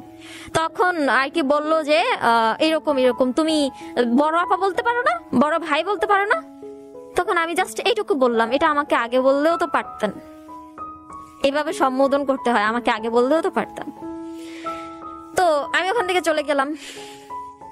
সা- তারপর অনেক রিকোয়েস্ট করলাম আমার হাজবেন্ডকে যে আমি পড়াশোনা করতে চাই, আমি এভাবে থাকতে চাই না, যেহেতু ও, আরেকটা জিনিস হয়েছে কি, আমার যে কাবির নামাতে যেহেতু আমার বয়স কম ছিল, সেখানে কিন্তু আমার বয়সটা খুব বেশি বাড়িয়ে দেওয়া হয়। আমার বয়স কিন্তু তখনও আঠারোতে আসেনি দ্যাটস ওয়াই আমার বয়স লেভেলটা খুব বেশি বাড়িয়ে দেওয়া হয়। তখন ইভেন আমার ও তখন আমরা এখন করতেছি যে জন্ম, নিবন্ধন, তারপরে এই জিনিসগুলো আমরা এখন খুব সিরিয়াসলি নেই। তখন কিন্তু এত সিরিয়াসলি নেওয়া হতো না। দুই হাজার বারো কথা বলতেছি আমি। তখন কিন্তু এত সিরিয়াসলি এই জিনিসগুলো নেওয়া হতো না যে জন্ম, নিবন্ধন থাকতেই হবে বা এই জিনিসগুলো থাকতেই হবে। তো ওই সময়টা আমার জন্ম, নিবন্ধনও বানানো হয়নি। তখন জন্ম, নিবন্ধন এখন যেহেতু আমার বিয়ের কাবির নামাতে বয়স অনেক বেশি, সেই অনুসারে আমার জন্ম, নিবন্ধন বানানো হয়। যে এখানেও বয়স বেশি থাকবে, ওখানেও বয়স বেশি থাকবে, তাহলে পরবর্তীতে গিয়ে কোথাও কোনো প্রবলেম হবে না। ওকে, আমি অনেক রিকোয়েস্ট করার পরে দেন আমার যে হাজবেন্ডের বড় বোন, উনি রাজি হলেন যে হ্যাঁ ঠিক আছে, ওকে পড়াশোনা করাও। দেন আমাকে একটা স্কুলে ভর্তি করিয়ে দেওয়া হলো, যেহেতু আমি নাইন থেকে চলে আসছি এসএসসি পরীক্ষাটা দিতে পারিনি তো আমাকে ভর্তি করিয়ে দেওয়া হলো, আমি নাইন পড়লাম। ওখানে আমার নাইন পড়া অবস্থা হলো কি, যে আমি ক্লাসে যেতাম, সকালে আমার ক্লাস থাকতো, আমি ক্লাসে যেতাম ক্লাস থেকে এসে দেখতাম মানে আসতাম হয়তো একটা, দুইটা বাজতো। তখন আমার শাশুড়ি সেই তরকারি নিয়ে ঠাই বসে আছে। আমি আসব, ওনার মানে কাটাকাটি করব, উনি রান্না করবেন, দেন খাব। আর একটা জিনিস ছিল, আমার শাশুড়ির ডায়াবেটিক্স ছিল। দ্যাটস ওয়াই ওনাকে খুব সকালবেলা ওনাকে রুটি বানিয়ে দিতে হতো ইভেন হচ্ছে সবজি রান্না করে দিতে হতো। রুটিটা এমন থাকতে হতো যে সকালে ইনস্ট্যান্ট তাকে বানিয়ে দিতে হবে, সবজিটা ইনস্ট্যান্ট কেটে ইনস্ট্যান্ট তাকে ভাজি করে দিতে হবে। তো যেহেতু আমার ক্লাস ছিল, আমি যেহেতু স্কুলে তখন ভর্তি হয়েছি, আমার নতুন সংসার, আমি এই- এইসব কিছু পারিও না, এত তাড়াহুড়ো করে করার কোনো জিনিসই নাই, আমি এত তাড়াহুড়ো করে পারার কোনো কথাই না। স্বাভাবিক, আমার রুটি কখনো লবণ বেশি হয়ে যেত, কখনো কাঁচা থেকে যেত, কখনো একটু বেশি পুড়ে যেত। আমি পারতাম না পারতাম না। আমার শাশুড়ি, আমার হাজবেন্ডকে এগুলো এইভাবে বিচার দিত যে আমাকে মারার জন্য এগুলো এভাবে করে, যে লবণ বেশি দিয়ে দেয়। জানে যে আমার ডায়াবেটিক্স আসতে, আমার এত কি লবণ বেশি খেলে আমার প্রবলেম হবে। জানে যে আমার, আমি বাসি জিনিস খাইতে পারি না। তো আবার মাঝে মধ্যে হতো কি যে, আছে না যে আমরা শর্টকাট খুঁজি। রাতের বেলা আমি সবজিগুলো কেটে রাখতাম। ভাবতাম যে রাতের বেলা কেটে রাখছি, সকালে আমার সময়টা বেঁচে যাবে, আমি ভাজিটা করে ইনস্ট্যান্ট করে দিয়ে দিব উনিও বুঝতে পারবে না। স্বাভাবিক আমি বাচ্চা মানুষ ছিলাম। তো আমার, আমি এরকম করতাম উনি যদি সেটা সকালে বুঝতে পারতো, তখন আমাকে বলতো, জানে যে আমার, আমি বাসি খাবার খেতে পারি না, আমাকে এভাবে করে দেয়। ও আমাকে মাইরা ফেলার মাইরা ফেলার প্ল্যান আছে। এভাবে বলতো। এই জিনিসগুলো এসে আমার হাজবেন্ড আমার সাথে খুব চিলাচিলি করতো। পারো না, সকালবেলা করে দিতে পারো না, কি এমন কাজ তোমার, কি এমন পড়াশোনা তোমার? আমার তখন বয়সটা এইরকম ছিল। আমি স্কুল থেকে এসে যতক্ষণ সময় পেতাম, আপনারা চিনেন কিনা জানি না, ছোট ছোট কিছু পাঁচটা যে পাথর দিয়ে খেলা হয়। ওই জিনিসগুলো দিয়ে আমি ঘরের এক কোনায় বসে খেলতাম। আমার বয়সটা তখন এমন অবস্থায় চলে গেছে মানে এমনই ছিল। তো জানালা দিয়ে আমি আমার যে জানালা ছিল, জানালার এক পাশে হচ্ছে কিছু আপুরা থাকতো। এমন ওদের সাথে কথা বলার চেষ্টা করতাম মাঝে মধ্যে যে, আমি খুব বোর ফিল করতাম। যেহেতু আমার হাজবেন্ড সারাদিন বাসায় থাকতো না আমার শাশুড়ি এক রুমে পড়ে থাকতো। তখন আমি ভাবতাম যে ওদের সাথে গিয়ে কথা বলে আমার হয়তো একটু ভালো লাগবে। আমার শাশুড়ি বলতো কি, ঘরের বউ বাইরে কথা বলবে কেন?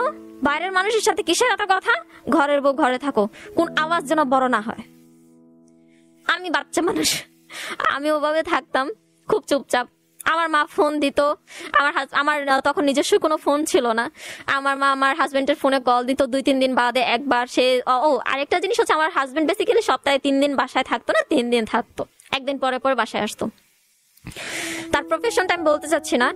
তো তো ও সে যেদিন বাসায় আসতো ওই দিনই আমার মায়ের সাথে কথা হতো। মা জিজ্ঞেস করতো, কেমন আছো? এখন যদি আপনাকে যদি কেউ বলে যে আপনাকে জঙ্গল থেকে বের করে এনে আপনাকে একটা কারাগারে রাখা হবে, এখন জঙ্গলে তো আপনাকে শিয়াল কুকুরে খাবে। আপনি যদি জেলখানায় থাকেন, আপনি খাইয়ে পরে সারাদিন কাজ করে তো আপনি চলতে পারবেন। আপনি চাইবেন না যে আপনি আপনি জঙ্গলে আবার ফিরে যান, যেখানে আপনাকে শিয়াল কুকুর ছিঁড়ে খাবে। আমি স্বাভাবিক বলতাম যে, না এখানে আমি অনেক ভালো আছি। আমি চাইতাম না ওই জায়গাটা আমি আবার ফেরত যাই। আমি কখনো চাই আমি কখনো চাইনি আমি ওই জায়গাটা ফেরত যাই।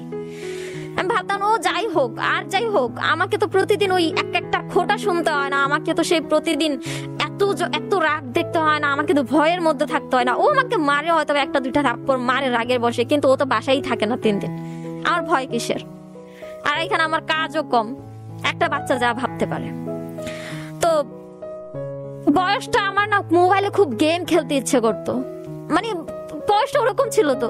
মোবাইলে খুব গেম খেলতে ইচ্ছে করতো যে আমার একটা ফোন নাই, আমিও একটু গেম খেলব, কোথায় খেলব, কার মোবাইলে খেলব, তখন আমার হাজবেন্ড হচ্ছে তার ছোট একটা মোবাইলে আমাকে কিছু গেম ডাউনলোড করে এনে দেয়। ওটা তখন ডাউনলোড করে, তখন অবশ্য ডাউনলোডটা আমরা জিনিসটা কম বুঝতাম, সেটা হচ্ছে ওইটা একটা কম্পিউটারের দোকানে যেত কম্পিউটার থেকে রিলোড করে দেন, একটা মেমোরি কার্ডে দেওয়া হতো, ওখান থেকে নিয়ে আসা হতো। আমার হাজবেন্ড এভাবে আমাকে এনে দিল, আমি গেম খেলতাম। এই যে গেম খেলা শুরু করলাম একটা গেমের মধ্যে আমি একটা নেশাগ্রস্ত হয়ে যায় যে আমাকে গেম খেলতে হবে। পড়াশোনা শেষ করে আমাকে গেম খেলতে হবে, পড়াশোনা শেষ করে আমাকে গেম খেলতে হবে। এটার কারণে হয়তো টুকটাক আমার ভুল হয়ে যেত। তো এটার জন্য আমার শাশুড়ি খুব মানে এই যে ফোন দিছে এখন তো কোনো কাম করে না। এভাবে থাকে, ওভাবে থাকে, কি বড় লোকের বেটি, কি হাতে কি কাম উঠে না? এই টাইপের কথাবার্তা বলতো। তো এরকম করতে করতে আমি কোন রকম এসএসসি পরীক্ষাটা দিই। এসএসসি পরীক্ষাটা দেওয়ার সময়, দেওয়ার পরে আমার কিছুদিন ছুটি থাকে। ওই সময়টা আমি ভাবি যে আমি একটু টিউশন করাই। আর টিউশন করাই তো ভালোই চলে। ও, তখন আমার শাশুড়ি খুব খোটা দিত। আমার ছেলের টাকায় খাও, আমার ছেলের টাকায় আবার পড়াশোনা করো। কি এমন হবে পড়াশোনা কইরা? কি এমন হবে? পারলে নিজের টাকায় পড়ো, তোমার মায়ের তো টাকা আছে। তোমার মায়ের বলল টাকা দিতে আমি তো অবশ্যই চাইব না যে এখানে বাঘের হাতে টাকা, হাত দিয়ে, বাঘের মুখের মধ্যে হাত দিয়ে আমি টাকা আনতে চাইব না। তখন আমি ভাবলাম যে আমি না হয় কিছু করি। তখন আমি আস্তে আস্তে করে হচ্ছে বউকে বললাম যে তোমার যে ভাগ্নিগুলো বা ফ্রেন্ডের যে বোনগুলো আসতে আমি ওদেরকে পড়াই। ওদেরকে পড়াইলে হচ্ছে আমার কিছু টিউশন টাকা আসবে, ওই টাকাটা দিয়ে আমি আমার পড়াশোনার খরচটা চালাতে পারব। সে ঠিক আছে মানলো যে হ্যাঁ ঠিক আছে, তুমি বাসায় বসে এগুলো করতে পারো। সে আমাকে বাচ্চাদের ম্যানেজ করে দিল, দুই তিনটা বাচ্চা আসা লাগল। তাও তারা ছিল হচ্ছে তার ফ্রেন্ডের মেয়ে, কেউ ছিল ভাগ্নি, এরকম। তো ওই মেয়ে ভাগ্নি তারাও কম বয়সের ছিল, তারা তখন হয়তো বা ছিল আট, নয় বছরে। তখন তারা আমাকে না বলতো, তাদের সম্পর্কে আমি মামি ছিলাম, যেহেতু তাদের অনেকের ভাগ্নি আসতো, অনেকের বাবার বন্ধু, এরকম অনেকে মামি ডাকতো। আমাকে বলতো কি, মামি, জানেন, মামা না একটা মেয়ের সাথে না আগে না ওই রুমে ঢুকে আইসক্রিম খাইতো। জানেন, মামা না এরকম এরকম একটা মেয়ের সাথে না দেখা করতো। আমরা মামাকে চেতাইতাম এই করতাম, ওই করতাম। আমার তো ওই জিনিসগুলো কাজ করতো না সাথে এখন বিবাহিত। আর একটা বিয়ের মধ্যে কতটা এফোর্ট দিতে হয় বা একটা বিয়ের মধ্যে দুজনকে যে লয়াল থাকতে হয়, একটা বিয়ে করলে যে আরেকজনের দিকে তাকানো যাবে না, আর কাউকে নিয়ে ভাবা যাবে না, এই জিনিসগুলো আমার মধ্যে তখনও আসেনি, যেটা সত্য কথা। কারণ আমি ভাবতাম থাকতেই পারে, সে এখন বিবাহিত তার আমি তো এখন তার বউ, কথা বলতেই পারে, স্বাভাবিক। এভাবে আমি করতে থাকলাম, আস্তে আস্তে বাচ্চাদের পড়াতে থাকলাম, ওই টাকা দিয়ে দিয়ে আস্তে আস্তে হচ্ছে এর মধ্যে ছোট ছোট কথায়, হতো তরকারিতে লবণ বেশি, হতো তরকারিতে ঝোল কম, হতো শার্টে দাগ লাগছে আমার কাপড় থেকে। মারতো, খুব মারতো। ঠাস ঠাস করে গালে থাপ্পড় বসাই দিত। মানে মারতো এমন ভাবে যে আয়না, সে আয়নাতে ভুসি মারছে, আয়নাটা এসে আমার পায়ের মধ্যে পড়ল এমন ভাবে মারতো। সে মানে পুরা মারার পর একটা একটা কথা খুব বলতো, তোর মাকে ফোন দেই? বলি যে তোর মা যেন তোর এসে নিয়ে যায়। আমি অবশ্যই যাইবো না, আমি যেখান থেকে উঠে আসছি ওই জায়গায় আমি আবার ফেরত যেতে চাই না, কারণ ওই জায়গাটাও আমার জন্য সেম তার থেকে আমি এখানে ভালো আছি, সে তিন দিন থাকে না, আমি ওই তিন দিন শান্তিতে থাকতে পারি। যাই হোক, সে এভাবে ধমক দিত। তখন আমি তাকে খুব বলতাম যে, ঘরের ব্যাপারগুলো ঘরেই থাক না। আমার শাশুড়ি চুপচাপ শুনে থাকতেন, কখনো কিচ্ছু বলতেন না। মানুষের কাছে বলতেন, বড় লোকের বেটি তো দামি কাপড় চোপড় পরে।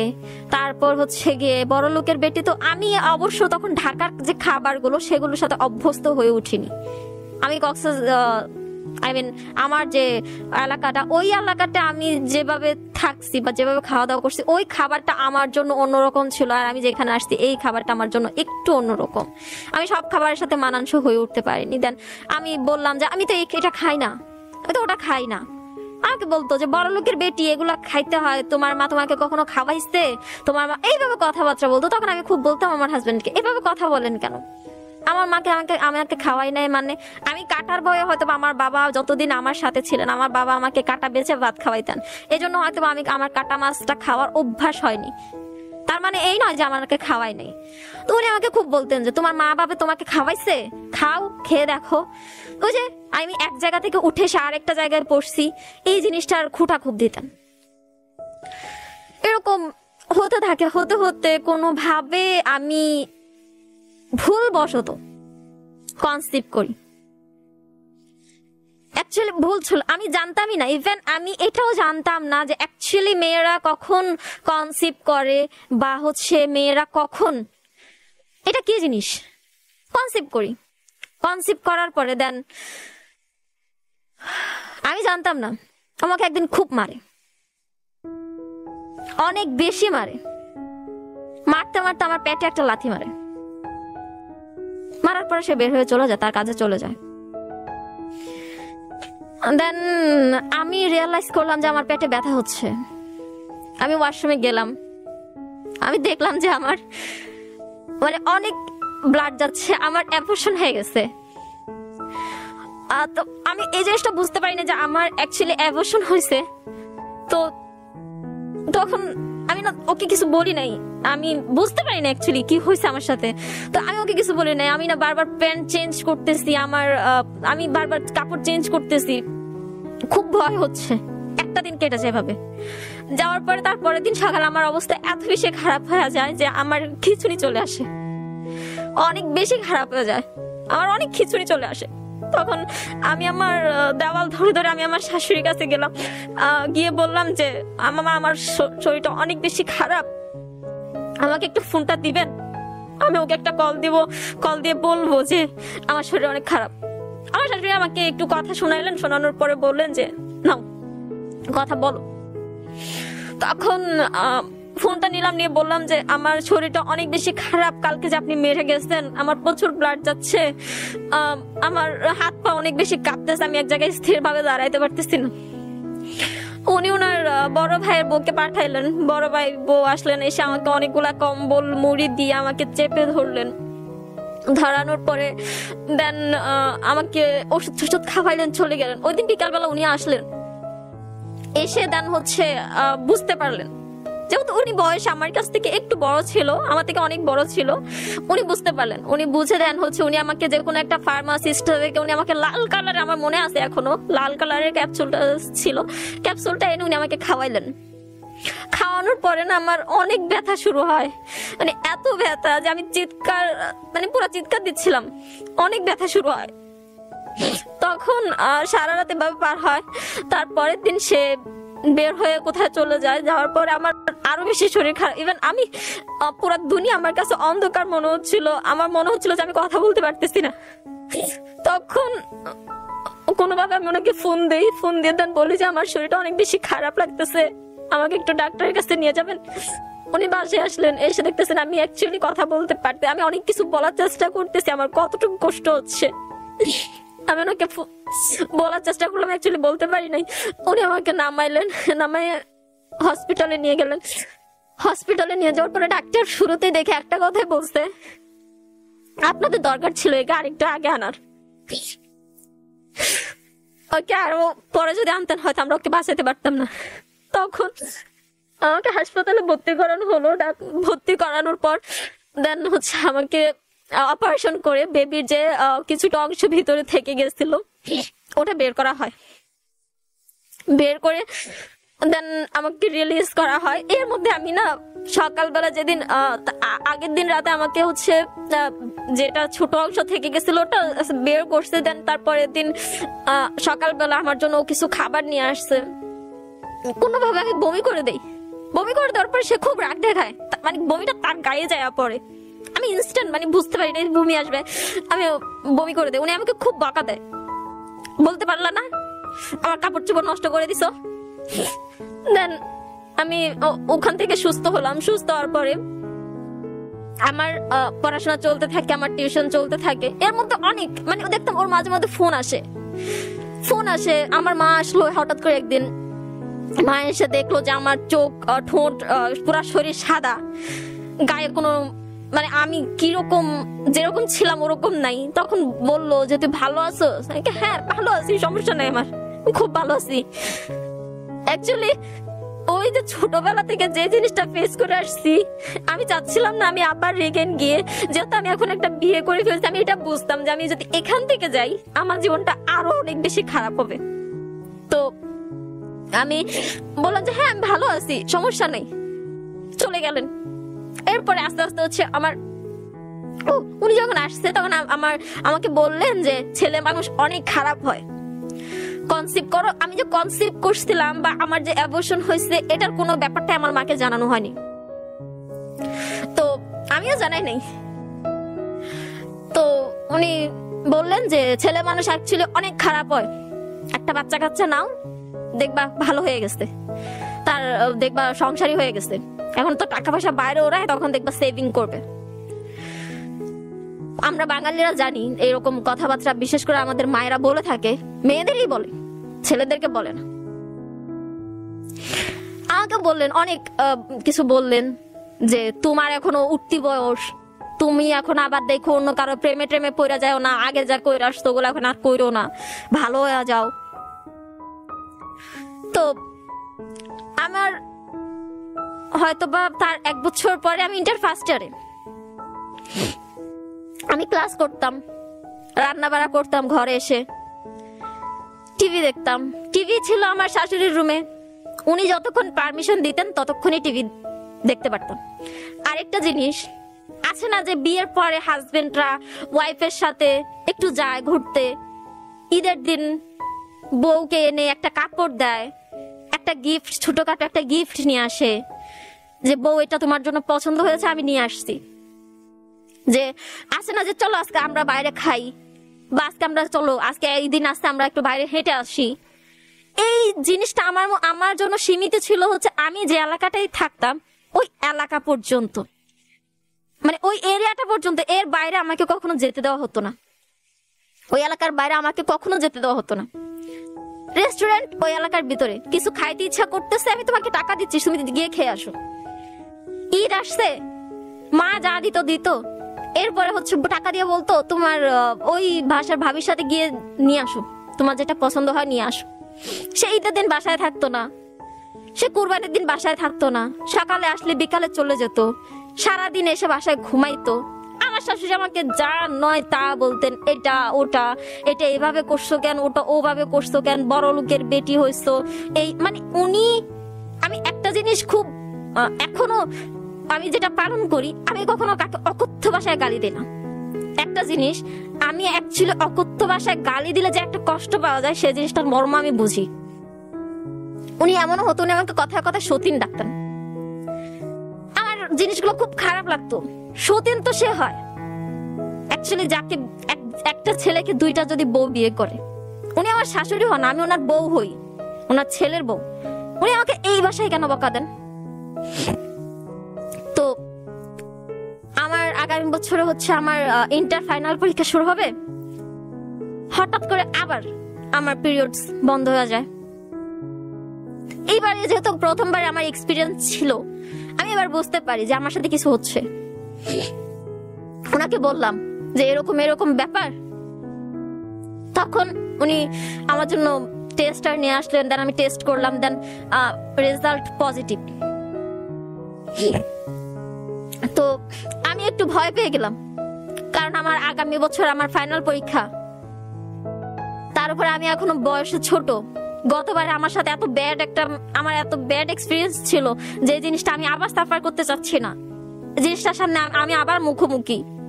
তারপর তখন আমার হাজবেন্ড বলল যে যাই হোক, দেখি ডাক্তারের কাছে গিয়ে।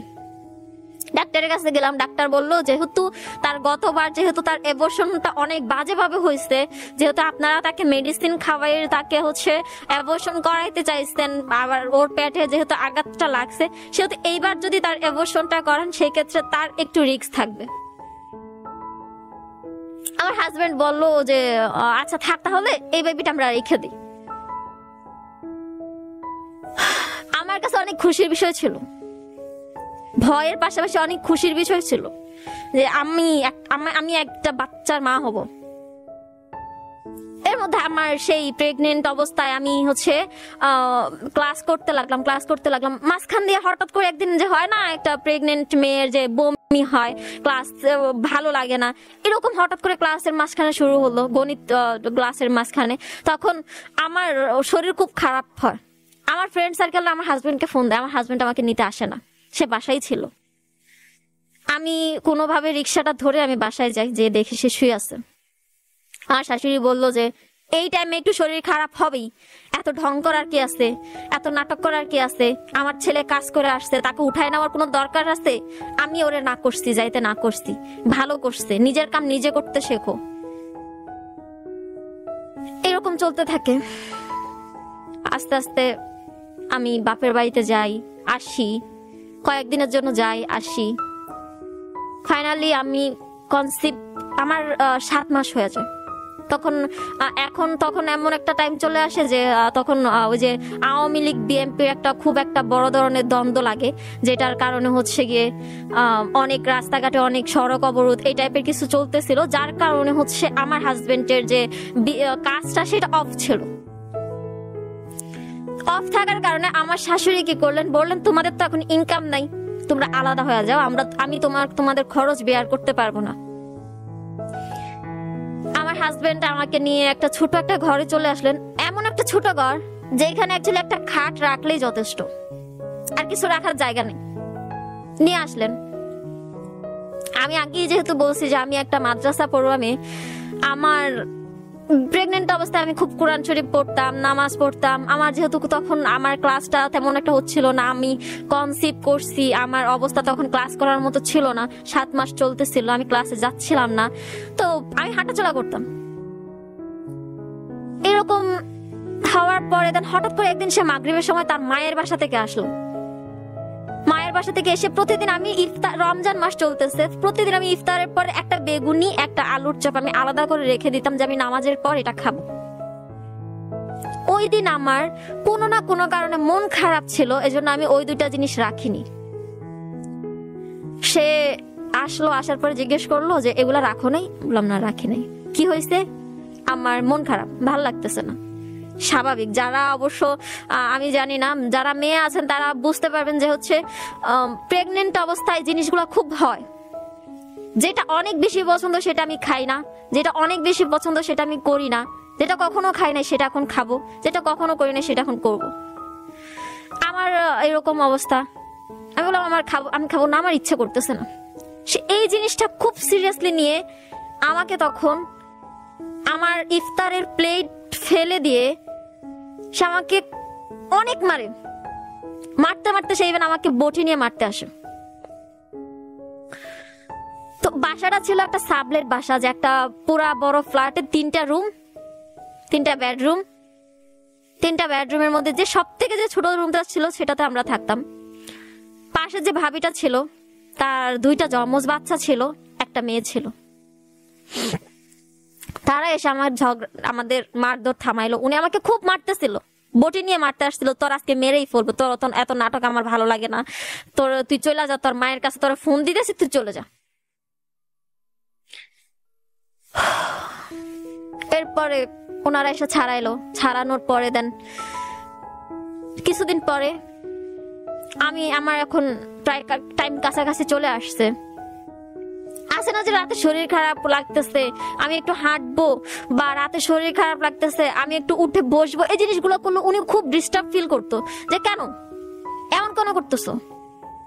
আমার শাশুড়ি বলতো যে মাঝে মধ্যে যখন আসতো তখন বলতো কি, তোমারই কি প্রথম বাচ্চা হচ্ছে? আর কারও হয়নি? এত ঢং করো কেন? তো এরকম হওয়ার পরে দেন আমার বেবি হবে। আমি বেবি হওয়ার একটু আগে। মানে রাতে আমার বেবি হয়তো বা আমার ডেলিভারি হবে। ওই দিন বিকালবেলা আমার হাজবেন্ড আমার জন্য কিছু মাছ তরকারি নিয়ে আসলেন। আনার পরে দেন আমাকে বলেন যে এগুলো রান্না করো। রান্না করতে দাঁড়াইলাম, আমার খুব পেইন হচ্ছে। ওকে আমি বললাম যে আমাকে একটু ডাক্তারের কাছে নিয়ে যাবা, আমার খুব পেইন হচ্ছে। বলে কি থাক, লাগবে না। এরকম পেইন হয় মাঝে মধ্যে। একটু সহ্য করো, চলে যাবে। আবার বললাম যে আমার অনেক কষ্ট হচ্ছে, এত বেশি কষ্ট হচ্ছে আমি সহ্য করতে পারতেছি না, আমাকে নিয়ে যাও। সে বলল, না, থাক, আরে একটু সহ্য কর, রাতে হইতে হইতে কমে যাবে। তো আমার ব্যথাটা এত বেশি প্রবল হয়ে গেছে যে আমি তাকে তখন বললাম, আমাকে কি নিয়ে যাবি?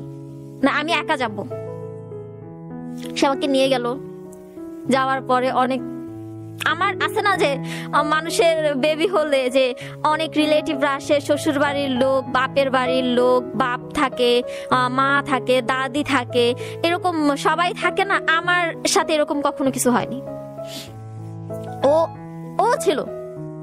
ওর ওর বাপের বাড়িতে কি কেউ আসে নাই?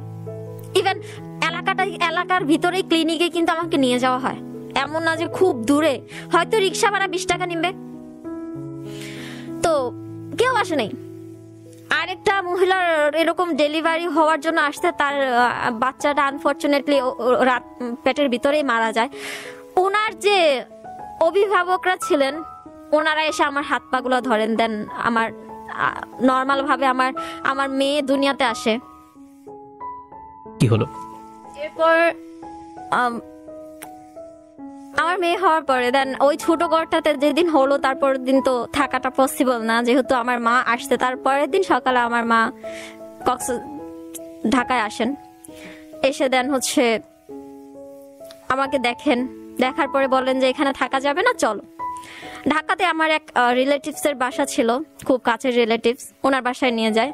ওনাদের ওনাদের নিজেদের বাড়ি ছিল। ওনাদের বাড়িতে নিয়ে যায়, দেন ওখানে আমাকে রাখা হয়। রেখে সাত দিন মতো আমি থাকি।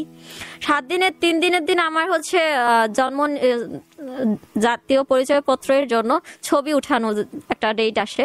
এখন সেটা তো ওই দিনই উঠাইতে হবে, ওটা ডিলে করা যাবে না। দেন আমি তিন দিনের দিন যেহেতু আমার নর্মাল ডেলিভারি ছিল, আমার শরীরে প্রচুর ব্যথা ছিল, আমার পেটে প্রচুর ব্যথা ছিল সে ক্ষেত্রে আমি ওনাকে ফোন দিয়ে বললাম যে আমার যে টোকেনটা সেটা বাসায় আছে, তুমি একটু কষ্ট করে যদি আমাকে এগিয়ে দাও দেন আমি ছবিটা উঠে চলে আসতে পারি। তো দেন হচ্ছে আমি আমার মেয়েকে কোলে নিয়ে, সাথে আমার এক দাদিকে নিয়ে আমি হচ্ছে যেখানে ছবি উঠানোর কেন্দ্র, সেখানে যাই। যাওয়ার পরে দেখি যে সে তখনও আসেনি। যেহেতু আমার তাড়াতাড়ি আসছি, আমার যেহেতু শরীরে অনেক পেইন আমি এতক্ষণ দাঁড়িয়ে থাকতে পারব না। তা আমি তাকে আর কি ফোন দিচ্ছিলাম, সে ফোন রিসিভ করল না। না করে দেন হচ্ছে আমি কি করলাম, নিজে নিজে দেওয়াল ধরে ধরে আমার বাসায় গেলাম। গিয়ে দেখি সে তখন ঘুম থেকে উঠে গোসলটা করল জাস্ট দেন আমি আস্তে করে ওর সাথে কোনো কথাই বললাম না, আমি আমার টোকেনটা নিয়ে চলে আসলাম। আসার পরে দেন আমি ছবি উঠালাম দেন আমার সাত দিন পরে আমার মামাকে রেখে চলে গেলেন। এরপর থেকে মেয়েকে আস্তে আস্তে করে বড় করা। তারপর আমার মেয়ের যখন আট থেকে নয় মাস বয়স তখন হঠাৎ করে উনি একদিন আমাকে বললেন যে এরকম এরকম, আমার এক বিয়ে আসছে ঢাকাতে, আমার বড় ভাইয়ের শালিকা, তো আমি তাকে দাওয়াত দিতে চাই। সে নতুন বাচ্চা নিয়ে আসছে, আমি তাকে দাওয়াত দিচ্ছি। আমার কোনো সমস্যা নেই। আনো, দাওয়াত দাও, সমস্যা নেই। আমি তাদের জন্য রান্না বান্না করলাম। করার পরে দেন হচ্ছে এর মধ্যে একটা জিনিস ঘটে গেছে, সেটা হচ্ছে আমার শাশুড়ি মারা গেছেন। আমার শাশুড়ি মারা যাওয়ার পরে দেন হচ্ছে আমার উপর ব্লেম উঠানো হলো যে শাশুড়িকে আমি মেরে ফেলেছি। কোনোভাবে।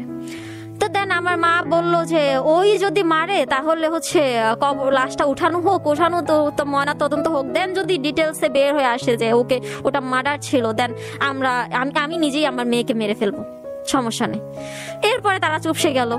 কারণ জানে যে এরকম কিছু হয়নি। এরপরে তার কোনো, ওটা, ওটার কোনো অস্তিত্ব ছিল না। যাই হোক, আমার যে রিলেটিভস তার যে রিলেটিভস আসার কথা সে আসলো। আসার পরে সেও খুব ইয়াং ছিল। অবশ্য আমার থেকে বড় ছিল বাট ইয়াং ছিল। আসলো, আসার পরে দেন তারও একটা মেয়ে বেবি ছিল। আসলো, আসার পরে দেন খাওয়া দাওয়া করতে করতে সবাই খাওয়া দাওয়া করতেছিলাম। মাঝখানে আমি আমার হাজবেন্ড আর ওই মেয়েটা রুমে ছিল না। আমি কোনো কোনো কিছুর কারণে আমি রান্নাঘরে যাই, গিয়ে তাদেরকে এমন কোনো অবস্থায় দেখি, যেটা অ্যাকচুয়ালি কোনো ওয়াইফ তার হাজবেন্ডকে অবস্থায় দেখতে চাইবে না, অন্য কোনো নারীর সাথে।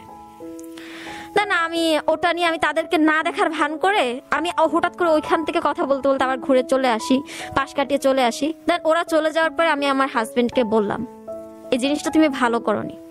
সে আমাকে ওই দিন খুব মারলো। ভালো করি নাই মানে? আমি কি করছি? কি দেখছস তুই?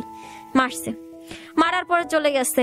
চলে যাওয়ার পরে দেন ওর কাজ, কর্ম শেষ। এরকম যাইতে যাইতে সে ওই জিনিসটা নিয়ে আমি তিন দিন হয়তো তার সাথে রাগ করেছিলাম। দেন ভাবলাম যে এগুলো ঠিক হয়ে যাবে। যাওয়ার পরে দেন আরেকটা ভাষা নিলাম।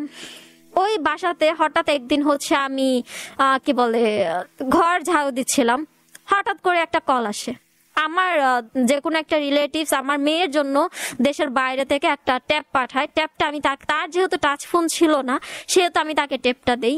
ট্যাপটা দেওয়ার পরে দেন সে ওটাতে ইউজ করে। কোনো রকম ভুলক্রমে সে বাসাতে ট্যাপটা রেখে যায়। মাগরিবের আগে আগে সে বাসার বাইরে ফোনটা বাসায়।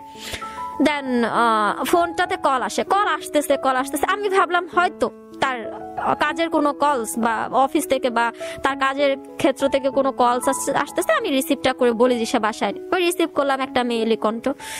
বলল যে, ভাই কোথায়? নাম ধরে বলল যে, ভাই কোথায়? বললাম ও তো বাসায় নেই, ও তো বাইরে আছে, আমি আসলে বলব যে আপনি ফোন দিয়েছিলেন এখন তো বাসায় নেই। বলে কি আচ্ছা ঠিক আছে। বলে ফোনটা রেখে দিল। রেখে দেওয়ার ঠিক এক থেকে দুই মিনিট পর সে আবার কল করল। কল করে বলে কি, অ্যাকচুয়ালি আমি আপনাকে খুঁজতেছিলাম। সো, আমার আমার আমার না কেমন জানি একটা লাগল যে, আপনি আমাকে কেন খুঁজবেন? বলে কি, আমি তো ভাইয়ের বউয়ের সাথে অনেকদিন ধরে কথা বলতে চাচ্ছিলাম অ্যাকচুয়ালি, আপনাকে খুঁজতেছিলাম। আলো আচ্ছা বলেন। বলে কি, আপনার জামাই তো আরেকটা বিয়ে করছে। ওরা মানে? বিয়ে করছে মানে আমার বিশ্বাস হয় না সে বিয়ে করছে। সে কখনো বিয়ে করতেই পারে না। তো ওই ঠিক ওই মুহূর্তে মাগরিবের আজানটা দিচ্ছিল। তখন আমি একটা কাজ করলাম যে, আমি বললাম যে, আপনি তো মুসলিম, তাই না? বল কি হ্যাঁ বললাম, আপনি আজানকে সাক্ষী রেখে বলেন তো, আপনি সত্য বলতেছেন যে সে বিয়ে করছে। তখন সে একটু চুপ থাকল, চুপ থেকে বলল যে অ্যাকচুয়ালি সে বিয়ে করে নাই, কিন্তু একটা মেয়ের সাথে তার দুই বছরের টানা একটা রিলেশনশিপ আছে। আলাম, কেমন রিলেশনশিপ রিলেশনশিপ তো অনেক রকমের হয়। কেমন রিলেশনশিপ সে আমাকে ঠিক বুঝিয়ে বলল যে এরকম এরকম একটা ব্যাড রিলেশনশিপ আছে। আলাম ওকে আমি তার ভয়েসটা আমার কোনো রকম ভাবে চেনা জানা চেনা জানা মনে হয়েছে আমি যে ওই দিন তার সাথে বললাম যে, কীভাবে কীভাবে? আপনি জানেন আমি কোথায় থাকি? সে আমার বাসার অ্যাড্রেস বলল। সে বলল, আমি কেমন? সে বলল, আমার কে কে আছে? সে বলল, আমি কোন টাইপের সবকিছু বলল। দেন বুঝতে পারলাম অ্যাকচুয়ালি সে চিনে আমাকে খুব ভালোভাবে। আমি কোন এলাকায় থাকি, কোথায় থাকি, কোন বাসায় থাকি, কোন ফ্লোরে থাকি। দেন ওগুলো হওয়ার পরে দেন হচ্ছে ওই দিন আমি এক সপ্তাহ মতো চুপ ছিলাম। যাচাই করার জন্য আমি তার ফোন থেকে ওই নাম্বারে একটা কল দেই মিস কল দেই। মিস কল দেওয়ার সাথে সাথে ওই মেয়েটা তার কল ব্যাক করে, কিন্তু আমার হাজবেন্ড সে কলটা রিসিভ না করে আস্তে করে সাইলেন্ট করে ফোনটা রেখে দেয়। আমি বুঝতে পারলাম, অবশ্যই কিছু না কিছু আছে। যদি তার সাথে অন্য কোনো মেয়েটা যদি মিথ্যে বলতো বা অন্য কোনো সম্পর্ক, তো অবভিয়াসলি সে কলটা রিসিভ করে কথা বলতো। এভাবে গেল, যাওয়ার পরে প্রায় এক সপ্তাহ মতো আরও ঘুরলাম, ঘুরে ঘুরে। দেন আমি অ্যাকচুয়ালি যাচাই করতেছিলাম যে কণ্ঠটা আমি চিনি। এই মানুষটার সাথে আমার আগে অনেকবার কথা হয়েছে, এই মানুষটাকে আমি চিনি। খুঁজতে খুঁজতে খুঁজে পেলাম অ্যাকচুয়ালি আমার মেয়ের প্রেগনেন্ট থাকা অবস্থা আমার আমি প্রেগনেন্ট থাকা অবস্থায় আমি যে একটা মহিলার বাসায় ছিলাম সাবলেটে যার দুইটা যমজ বাচ্চা, একটা মেয়ে ছিল অ্যাকচুয়ালি ব্যাড রিলেশনশিপটা তার সাথে। সে ছিল হচ্ছে বেসিক্যালি এমন একটা প্রফেশন তার হাজবেন্ড এমন একটা প্রফেশনে যুক্ত ছিল, যেটা আমরা সমাজে তাদেরকে যুগ, কোনো, কি বলে, কোনো সম্মান দেই না। আমার যদি বলা হতো যে তুমি তাকে কাজের মেয়ে হিসেবে রাখবে কিনা, আমি তখন তাকে তাও রাখতাম না, যেটা সত্য কথা। তারপর হলো কি হচ্ছে, আমি এভাবে জানার পরে দেন তাকে রাতের বেলা জিজ্ঞেস করলাম, সে আবার আবার আমাকে মারলো। মারার পরে কিছুদিন পরে তার মায়ের কোনো একটা এরকম বার্ষিক যে হয়, ওরকম। তো ওই দিন সে আমাকে, ওই মহিলা আমাকে ফোন দিয়ে বলল যে, আপনার সাথে কথা আছে। আমি বললাম, বলেন। সে আমাকে বলে কি, আপনার হাজবেন্ডকে কি আপনি থামাবেন? ও আমাকে বারবার ফোন দিয়ে ফোন দিয়ে বলতেছে যে, দেখা করব, দেখা করতাম নাকি। আপনার হাজবেন্ডের কারণে আমি আমার হাজবেন্ডের কাছে ধরা খেয়ে গেছি। আমার হাজবেন্ড এখন মারছে আমাকে আমাকে এরকম বিচার সালিশ ডাকছে। আপ- আপনার হাজবেন্ডের সাথে আমার অলরেডি এলাকাতে বিচার সালিশ হয়ে গেছে। আমি তো এখন পুরো শকড যে আসলেই এরকম কিছু হয়েছে। তখন আস্তে আস্তে অ্যাকচুয়ালি আমি খোঁজ নিতে নিতে জানতে পারলাম যে আসলেই ও যে আমার হাজবেন্ডের সাথে আর ওই মহিলার সাথে এলাকা একটা বিচার আর কি অলরেডি হয়ে গেছে। তার হাজবেন্ড বিচারটা বসাইছিল। যাই হোক, এরপরে আর কি সে বলল যে, ঠিক আছে, আর কোনোদিন কথাবার্তা বলব না, আমি ভালো হয়ে যাব। এগুলো তার সামনে তুলে ধরার পরে সেই, এই কথাগুলো বলল। আমি তাকে বিশ্বাস করলাম। এরপরে আবার হঠাৎ করে একদিন দেখি আমার যে কোনো একটা ডেস্কটপের নিচে কিছু জিনিস যেটা অ্যাকচুয়ালি সিগারেটের ভিতরে থাকে, যেটা খুব খারাপ দ্রব্য বলে আমরা জানি। আমি ওই জিনিসগুলো যেহেতু কখনো সামনাসামনি দেখিনি, আমি চিনিনি। দেন আমি আমার এক ফেসবুক যে কোনো একজনের খুব, উনি খুব আইন শৃঙ্খলা বাহিনীর মধ্যে জড়িত ওনাকে আমি ছবিটা পাঠালাম যে এরকম এরকম। এই জিনিসটা অ্যাকচুয়ালি কি? উনি আমাকে বলল যে এটা ওই জিনিসটা। আমি বেসিক্যালি ওনাকে প্রশ্ন করলাম যে, এটা কি? উনি বলল যে হ্যাঁ এটা সিগারেটের গোড়া। এ প্রবলেম কোথায়? আর এগুলো প্রবলেম না। বললাম, আমি চিনি, আমি চিনতে পারছি, আমি জানি, আমি এগুলো অলরেডি আমি জাস্টিফাই করে আসছি, কি কি করছ তুমি? যাই হোক, এটাও গেল। এটা যাওয়ার পরে দেন আমি একদিন হচ্ছে হঠাৎ করে আমার ইমো যে যেটা, সেটা আমি ওপেন করতেছি, নতুন নাম্বার দিয়ে। সে তার কাছে যে নাম্বারটা আছে, যেহেতু ইমোতে অনেক আননোন পার্সন চলে আসে, সেহেতু আমি তার নাম্বার দিয়ে ওপেন করতে চাচ্ছিলাম যাতে আমাকে কেউ ডিস্টার্ব না করে। আমার নাম্বারটা যাতে কেউ পেয়ে না যায়। এই জন্য হঠাৎ করে খুললাম। দেখি যে অলরেডি তার ইমো আগে থেকে খোলা। ইভেন ওখানে যে যেই মহিলাটার সাথে আমি রান্না করে তাকে যে কোনো একটা ইন্টারভিউ একটা অবস্থায় দেখছিলাম, ওই মহিলার সাথে অলরেডি তার অলরেডি অনেক চ্যাটিং আছে। আমি চ্যাটিংগুলো পড়লাম পড়ার পরে আমি তাকে এস করলাম যে দেখো তুমি অলরেডি একটা বাচ্চার মা এখন। তোমারও সংসার আছে আমারও সংসার আছে। আমার সংসারটা না হয় নাই ভাঙলা। তুমি তুমি হচ্ছে আমি বললাম তুমি চেপে যাও। এত কিছু করার দরকার নাই তো। তোমার সংসারটা না হয় তুমি সামলাও আমার সংসারটা না হয় আমি সামলাই। তারপর হচ্ছে গিয়ে উনি বলল যে "আ, তুই তোর স্বামীকে সামলা। পরে বললাম এটা কেমন কথা? পরে উনি আমাকে খুব বকা দিয়ে বলল যে, দাঁড়া, তোর খবর নিচ্ছি। সে আমার হাজবেন্ডকে ফোন দিয়ে বলল যে আপনার অ্যাকচুয়ালি এরকম এরকম আপনার ওয়াইফ আমাকে এরকম এরকম বকা দিছে? সে আমাকে ফোন দিয়ে বলল যে, তুই যদি ওর কাছে ক্ষমা না চাস, আমি আজকে এসে তোরে মার্ডার করে ফেলব। বললাম আচ্ছা ঠিক আছে, ক্ষমা চাইলাম। এরকম অ্যাকচুয়ালি চলতে থাকে চলতে থাকে, চলার পরে একটা সময় আমি রিয়েলাইজ করি যে, আসলে এইভাবে হয়। একটা মানুষের এতগুলো মেয়ের সাথে সম্পর্ক থাকতে পারে। মানে অনেকগুলো কলস অনেকগুলো যেগুলো আমি তার কাছে সন্দেহ বলে মনে হতো, যেগুলো আমি নিয়ে আমার ফোন দিয়ে জাস্টিফাই করার জন্য ফোন কলস করতাম, সবগুলোই মেয়ে। একটা ছেলে এতগুলো মেয়ের সাথে কীভাবে ইন্ট্রোভার্ট থাকে? এতগুলো মেয়ের সাথে কীভাবে এত যোগাযোগ করে সারাদিনে? সে এত কীভাবে পারে? সে বাসায় বউকে সময় দেয় না, সে ঈদের দিন বাসায় থাকে না। অথচ তার বাইরের এত মেয়ে ফ্রেন্ড সার্কেল ফোন দিলে বলতো যে হ্যাঁ এইগুলিটা হচ্ছে ওই বাসার ভাবি, তার হাজবেন্ডের খবর নেওয়ার জন্য ফোন দিচ্ছে ওকে ডান। একটা সময় এসে অ্যাকচুয়ালি আমি মনে করলাম যে, ভাই, আমার আর হচ্ছে না। একটা লাইফ আছে। যখন এই জিনিসটা আমি তখন রিয়েলাইজ করলাম যে আমার মেয়ের সামনে সে আমাকে মারধর শুরু করছে। আমার মেয়ে তাকে ভয় পেত ইভেন একদিন, দুই দিন টানা যেই জিনিসটা আমি ছোটবেলায় ফেস করছি, আমার মা বাবার ঝগড়ার কারণে আমি আমার মা বাবার সাথে কথা বলা বন্ধ করে দিয়েছি। সেম জিনিসটা আমার মেয়ে, আমার ওর বাবার সাথে কথা বলতো না। আমার এইভাবে আমার কাপড়টা ধরে আমার পিছন পিছন ঘুরতো যখন ওর বাবা আমাকে মারতো। তার তিন চার দিন আমার পিছন পিছন এভাবে ঘুরতো। আমি যেদিকে যাই ওদিকে চলে যেত। একা বিছানায় বসে থাকতো, ওর বাবা একা রুমে থাকলেও থাকতো না। এরকম। দেন আমি রিয়েলাইজ করলাম, আসলে এভাবে হবে না। আমি আমার আমার লাইফটা যেভাবে হোক, আমি ছোটবেলা থেকে যে জিনিসটা ফেস করছি, ওই জিনিসটা আমি আমার বাচ্চাকে দিতে চাই না। আমি চাই না আমার বাচ্চা এরকম হোক। দেন আমি তাকে হচ্ছে যে কোনোভাবে আমার যে রিলেটিভস ঢাকাতে ছিলেন, তারা ওনারা হচ্ছে গিয়ে দেশের বাইরে চলে যাবেন, আমি ওনাদের বিদায় জানানোর জন্য ওখানে যাই আমার মেয়েকে নিয়ে।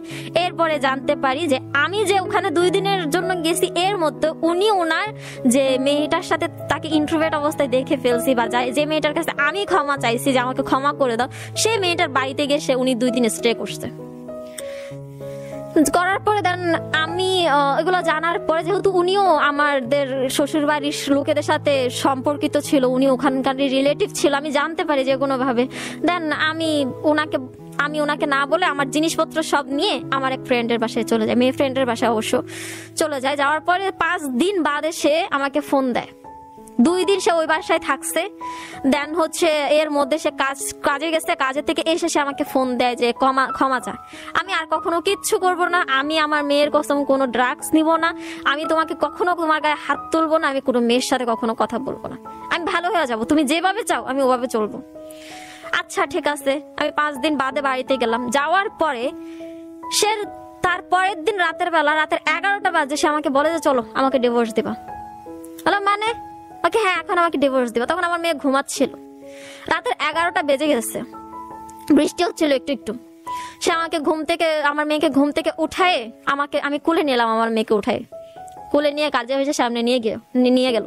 দেখলাম কাজে অফিস আনফর্চুনেটলি বন্ধ। আমার প্রথম প্রথম মাথার মধ্যে যদি এইটুকু বুদ্ধি ঘুরছে যে আমি তাকে ডিভোর্স দিয়ে দিব, কিন্তু যেদিন সে আমাকে কাজে অফিসের সামনে অ্যাকচুয়ালি নিয়ে গেল যে বলল যে ডিভোর্সটা দাও আমি ওদিন ডিসাইড করে নিছি, আমি যেভাবেই হোক ডিভোর্সটা দিয়ে দিব। দেন আমি ফাইনাল করলাম। আমার মাকে যদি আমি এখন বলি, আমার মা স্বাভাবিক, বাঙালি টাইপ হোয়াট এভার মায়েদের মতো বলবে যে, সহ্য করো, ছেলে মানুষ এমনই হয়, ঠিক হয়ে যাবে। বা এক বাচ্চা মানুষ তো ঠিক হয়ে যাবে। আমি চাচ্ছিলাম না অ্যাকচুয়ালি এই জিনিসগুলো হোক। তা আমি আমার যে কিছু, আমার স্বর্ণপাতি যা ছিল বন্ধক দিলাম, টাকা নিলাম, টাকাটা নিয়ে আমি কোর্টে গেলাম। কোর্টে গিয়ে তাকে আমি ডিভোর্সটা দিলাম, দেওয়ার পরে দেন আমি আমার মাকে একটা ফোন দিয়ে বললাম মা, আমি ডিভোর্সটা দিয়ে দিছি। এই যে এইটা এইটা ভাইবো না যে আমি তোমার বাড়িতে গিয়ে পাঁচটা দিন বসে আমি পাঁচ বেলা ভাত খাব। আমি আমার মেয়েকে, আমি নিজেকে সামলিয়ে নিতে পারব? এটা ভাইবো না। এরপরে আমি আমার জিনিসপত্র সব নিয়ে একটা আলাদা বাসায় উঠলাম। এর মধ্যে সে কাজে থেকে আসে, আসার পরে আমার কাছে আবার ফোন কলস দিয়ে, আমি ভালো হয়ে যাব। এমন কেন করলা? এটা ঠিক না। তুমি আমাকে ডিভোর্স দিতে পারো না। এটা না, ওটা না। তাহলাম যা হওয়ার হয়ে গেছে। এখন আর কিছু বলে লাভ নাই। এরপরে আমার মা ঢাকাতে আসেন। আসার পরে আমি অ্যাকচুয়ালি যাচ্ছিলাম যে আমার মেয়েটাকে আমি যদি এভাবে রাখি, আমার মেয়েটা, আমি চাকরি করব, আমি একটা লাইফ লিড করব, ওখানে আমার মেয়েটা ওই চত্রাকারে ফেসে যাবে। আমার মেয়েটার জীবনটা হয়তো ধ্বংস হয়ে যাবে যে আমার মা আমাকে সময় দিচ্ছে না। এই টাইপের আমার মেয়ে আবার একটা ফেসে যাবে। তা আমি ভাবলাম যে আমার মায়ের কাছে আমার মেয়েটাকে দিয়ে দেই। দেন আমি একটা জব করি। দিয়ে দিলাম। এরপরে এমন এমন কিছু আমি এই যে- এই দুইটা ছিল আমার ছোটবেলা, একটা ছিল আমার ছোটবেলা, একটা ছিল আমার বিবাহিত জীবন। ডিভোর্সের পরের যে জীবনটা, এখানে আমি এমন কিছু ফেস করছি যেটা অ্যাকচুয়ালি আমি কখনো ভাবিই নাই। আমি বুঝতে পারি না যে আসলে পৃথিবীটা এত কঠিন, এত অদ্ভুত, এই মানুষগুলো আমি বুঝিনি। আমার মা থাকা অবস্থায় আমি একটা বাসা ভাড়ার জন্য যেহেতু ওই বাসার যে বাসায় উঠছি ইনস্ট্যান্ট উঠছি আমি খুঁজে। বাসাটা আমার জন্য অনেক বেশি এক্সপেন্সিভ হয়ে যাচ্ছিল। তখন আমি আমার আরেকটা খোঁজা শুরু করলাম ফেসবুকের মাধ্যমে। দেন ওখানে একটা টুলেট দেখলাম, ওইখানে আমি বললাম যে এরকম এরকম। উনি আমাকে, উনি অ্যাডভোকেট ছিলেন মেয়ে মহিলা। উনি বললেন যে হ্যাঁ আমার বাসাটা নিতে পারো তুমি, সাবলেট থাকতে পারো। ওকে ডান নিবো। যাই হোক, আমার মেয়েকে হয়তো আমি আজকে দিয়ে দিছি, পরের দিন সকালে সে আমাকে, আমার হাজবেন্ড আমাকে এক্স হাজবেন্ড কোনোভাবে খুঁজে, সে আমাকে এমন ভাবে মারে, রাস্তার মাঝখানে। আমি পুরা ছয় মাস টানা পুরা মুখটা হা করে কথা বলতে পারিনি, পুরা মুখটা হা করে খেতে পারিনি। এগুলো বললে আমার এখন বেসিক্যালি কান্না আসে না। এগুলো বলতে আমার এখন আর একটুও কষ্ট হয় না, কারণ আমি ওই লাইফটা ফেলে আসছি, আমি ওই জিনিসগুলো সাফার করে আসছি, আমার এখন আর কষ্ট হয় না। তো এরপরে হয়েছে কি, সে আমাকে মারছে, খুব মারছে। মারার পরে একটা মানব অধিকার অফিসে নিয়ে গেছে, তার তিনটা ফ্রেন্ডের সাথে যে আমার আইডি কার্ড সহ সে জব্দ করছে, এইটা রেখে দিবে, আমি তার সাথে না গেলে তার সাথে আমার সংসার করতেই হবে, আমি তাকে ডিভোর্স দিতে পারি না, আমি মেয়ে হয়ে কেন তাকে ডিভোর্স দিব?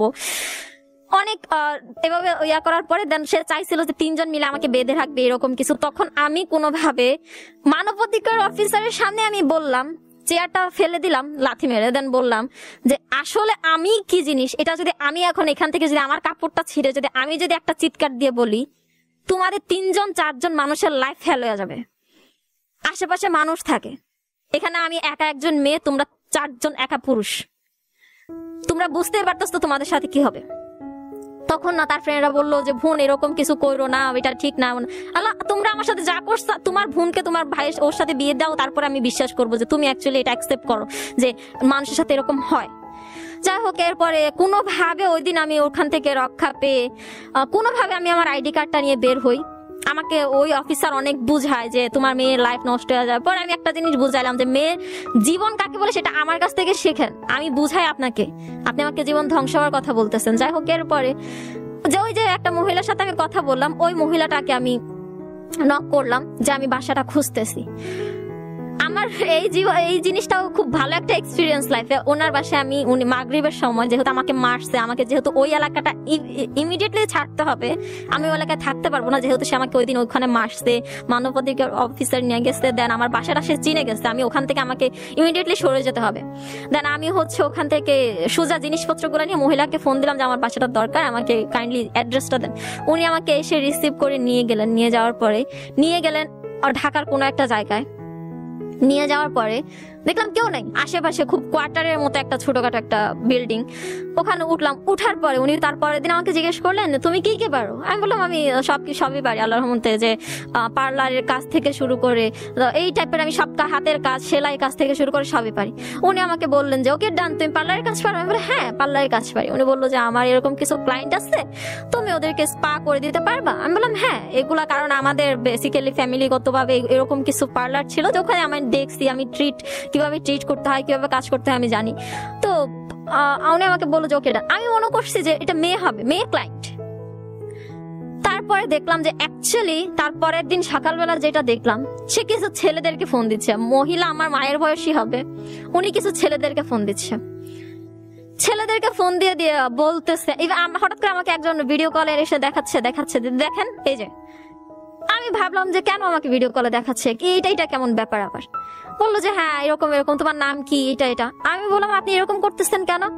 পরে সে বলল যে, এরকম এরকম একটা ক্লায়েন্ট আসবে, তোমাকে এক ঘণ্টা টাইম দিতে হবে। বললাম মানে? আর কি হ্যাঁ। পরে বলে যে স্পার কাজ তুমি পারো না? আর, এরকম তো কত হয়, অহরহ। তার, তোমার লাইফে তো এরকম একটা ট্রাজেডি আসতেই কেউ কিছু মনে করবে না, তোমার লাইফে কিছু হবে না। হলো ওকে ডান সারা দিন গেল, রাতে ক্লায়েন্ট আসা শুরু হবে। সারাদিন সে ক্লায়েন্টদের ম্যানেজ করল যে কোথায় খুব বড় বড় লিডাররা ছিলেন, ওখানে খুব বড় বড় নামি দামি মানুষ ছিলেন। তো বলল যে এরকম এরকম। বললাম আচ্ছা ঠিক আছে, আপনি সমস্যা নেই।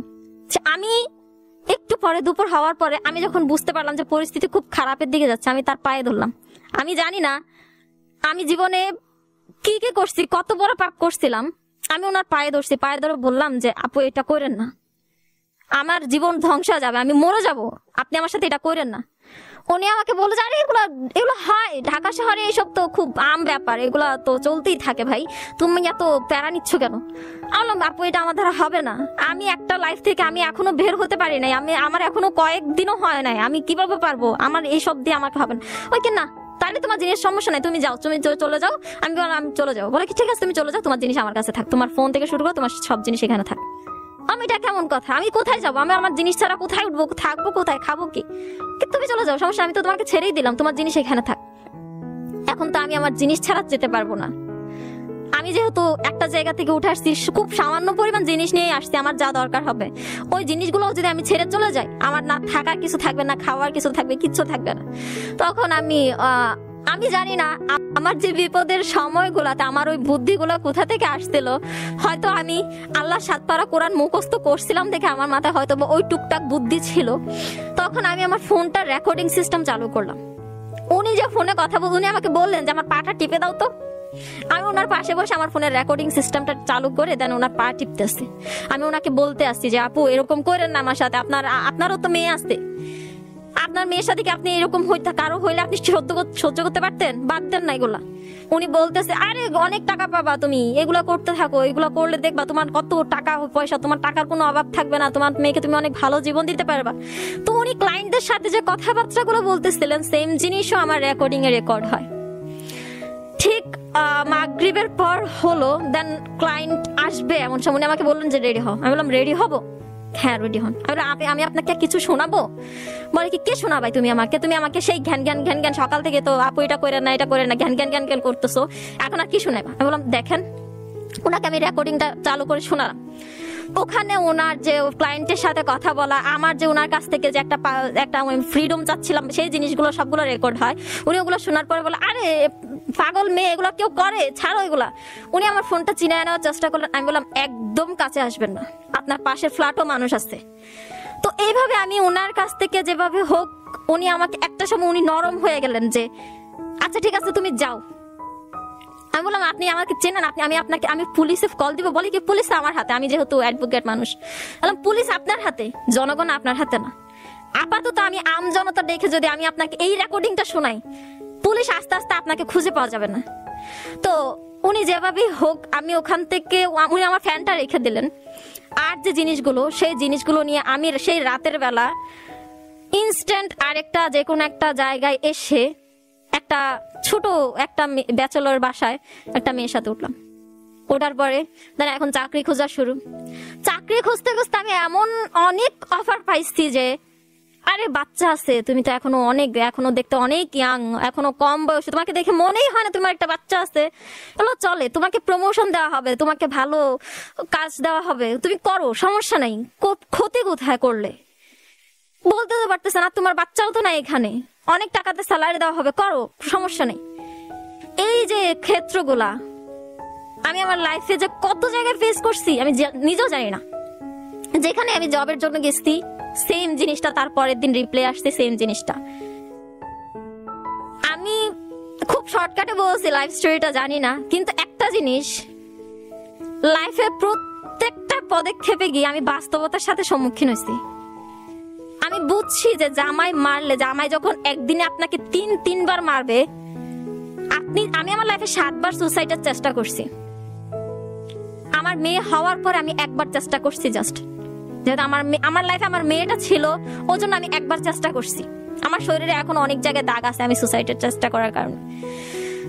আমি জানি না আপনারা কীভাবে কি করবেন, কীভাবে কি নিবেন, কিন্তু একটা জিনিস, আমি বাস্তবতার মুখোমুখি হয়েছি, আমি প্রত্যেকটা ভালো মানুষের পেছনে তাদের মুখোশ দাঁড়িয়ে যে একটা চেহারা, ওই চেহারার পেছনে যে একটা চেহারা থাকে, সেই জিনিসটা আমি দেখছি। এখন আমি, এখন একটা জিনিস খুব মনে হয়, আমার মা যদি ছোটবেলায় ওই জিনিসগুলো আমার সাথে না করতো। আমাকে যদি বিয়েটা না দিত, আমার লাইফটা আজকে এই জায়গায় এসে দাঁড়াইতো না। আমি, আমার জামাই যদি আমাকে ছোট একটা মেয়ে, আমার বউ ভেবে যদি আমার গায়ে বারবার হাত না তুলতো, আমার মেয়েকে যদি আবার সে আমার লাইফটা যদি তার চোখের সামনে দেখতে না হতো আমি আজকে এই অফিসিয়াল যে রাজনৈতিক অফিসিয়াল যে একটা বিশ্রী ব্যাপার থাকে, ওই জিনিসগুলো সামনে হতে পারে আমি কখনো আসতাম না। কখনো দেখতামই না। আমি জানি না। মানে এখন আগে খুব কান্না করতাম যে, তুই করে কথা বললে খুব কান্না করতাম, কেউ চিল্লায় কথা বলতে। এখন আমাকে আমার ফ্রেন্ড সার্কেল সবাই বলে, তুই এখন কেমন জানি হয়ে গেছিস? আমার চোখে এখন পানি আসে না। আমার চোখে এখন তখনই পানি আসে যখন আমি ভাবি যে, আমার মেয়েটাকে আমি, আমার মেয়ের খুব স্বপ্ন, বড় হয়ে সায়েন্টিস্ট হবে। আমি খুব চাই, ও বড় হয়ে সায়েন্টিস্টই হোক। খুব চাই, ওকে একটা ভালো ফিউচার দেই। জানি না পারব কিনা। কিন্তু একটা জিনিস, আরেকটা জিনিস ফেস করছি সেটা হচ্ছে, আমি অনেক ম্যাট্রোমনি সাইটে করছি যে হচ্ছে মেয়ে সহ কেউ বিয়ে করবে কি না যেহেতু আমার বাচ্চাটা এখন আমার মায়ের কাছে আসছে, আমি যেহেতু এখন একা লাইফ লিড করতেছি, আমি চাচ্ছিলাম যে আমার মেয়েটাকে নিয়ে যদি কারোর সাথে এরকম ডিভোর্স দিয়ে কারোর সাথে যদি লাইফ লিড করা যায়, ওখান থেকে রিপ্লেট আসছে এরকম, মেয়ে সাথে থাকবে? এটা তো ঝামেলা। মেয়ে বাপের বাড়িতে থাকুক তা সমস্যা কোথায়? খরচ চলাবো তো। আরে, সমস্যা কোথায়? তুমি মেয়ে ছাড়া আসলে তোমাকে দেশের বাইরে নিয়ে আসবে একেবারের জন্য, সমস্যা নেই। মেয়ে মেয়ে বাচ্চা আছে আরে চলবে না চলবে না। এই টাইপের কিছু কিছু জিনিস আমি দেখছি। যে জিনিসগুলা আসলে হয় না যে মানুষ ভেতর থেকে একটা জিনিস আপনাকে যদি ছোটবেলা থেকে যদি একই জায়গায় পাথর মারা হয় সাত আট বছর ধরে দশ বারো বছর ধরে ওই জায়গাটা আপনার শক্ত হয়ে যাবে। যে জিনিসটাকে আপনাকে যদি ওই জায়গায় কেউ কামড় দেয়, আপনি কোনো ফিল পাবেন না যে আমাকে, আপনাকে এই জায়গায় কামড় দেওয়া হচ্ছে। আমার এখন সেম অবস্থা। আমি এখন, আমার মধ্যে আর এখন কোনো কিছু ফিল হয় না। রাইট ওয়াজে আমরা আমাদের অনুষ্ঠানের একেবারে শেষ সময় চলে আসি। আমার মনে হয় যে আজকের এপিসোডটা আমি নিজে পার্সোনালি অনেক মনোযোগ দিয়ে শুনছিলাম এবং প্রত্যেকটা কথা ও যে প্রশ্নগুলো করেছে, ও যে কথাগুলো বলেছে, আমার মনে হয় এই সমস্যাগুলো অনেকেই আমরা ফেস করি, কিন্তু কেউ বলি কেউ বলি না। ওয়াজে আপনার মেয়ের বয়স কত এখন? এখন ছয় বছর। ছয় বছর। তো আপনি বলছিলেন যে আপনার মার কাছে সে বড় হচ্ছে কিন্তু আপনি যখন ছোট ছিলেন আপনার বেড়ে ওঠার সময় আপনার মার যে ব্যবহারের কথা বলেছেন সেই জায়গাটায় আপনার মেয়ে কীভাবে বড় হচ্ছে? সেই জায়গাটাতে আমি এখন তাকে দিয়েছি হচ্ছে দেড় বছর। আমার ডিভোর্সের প্রায় দুই বছর আমি তাকে দিয়েছি দেড় বছর। কিন্তু একটা জিনিস থাকে না যে আপনি একা কাজ করতে পারবেন আপনি সাত দিক সামলায় আপনি সব কাজ করতে পারবেন আপনার সাত হাত নেই। বাচ্চাটাকে সময় দিতে হবে। বাচ্চাটার খাবার সে বাচ্চা তাকে খাওয়ার একটা টাইম আছে তার পড়াশোনার একটা টাইম আছে তাকে সময় আমি দিতে আমি বুঝতে পারছি যে সেটা হচ্ছে ওই জিনিসটা আমার দ্বারা হচ্ছে না। হ্যাঁ, কিন্তু আপনি তো যে সিচুয়েশনের কথা বলেছেন যেখান থেকে আপনি বেরিয়ে এসেছেন মানে আপনার মায়ের যে ব্যবহার আচরণের কথা বললেন আবার সেই মায়ের কাছে আপনি নিজের মেয়েকে দিয়েছেন। জি। মানে এই ব্যাপারটাকে আপনি মানে এটাতে কতটা নিরাপদ আপনার মেয়ে ভবিষ্যৎ নিয়ে? আমি এখনও আমার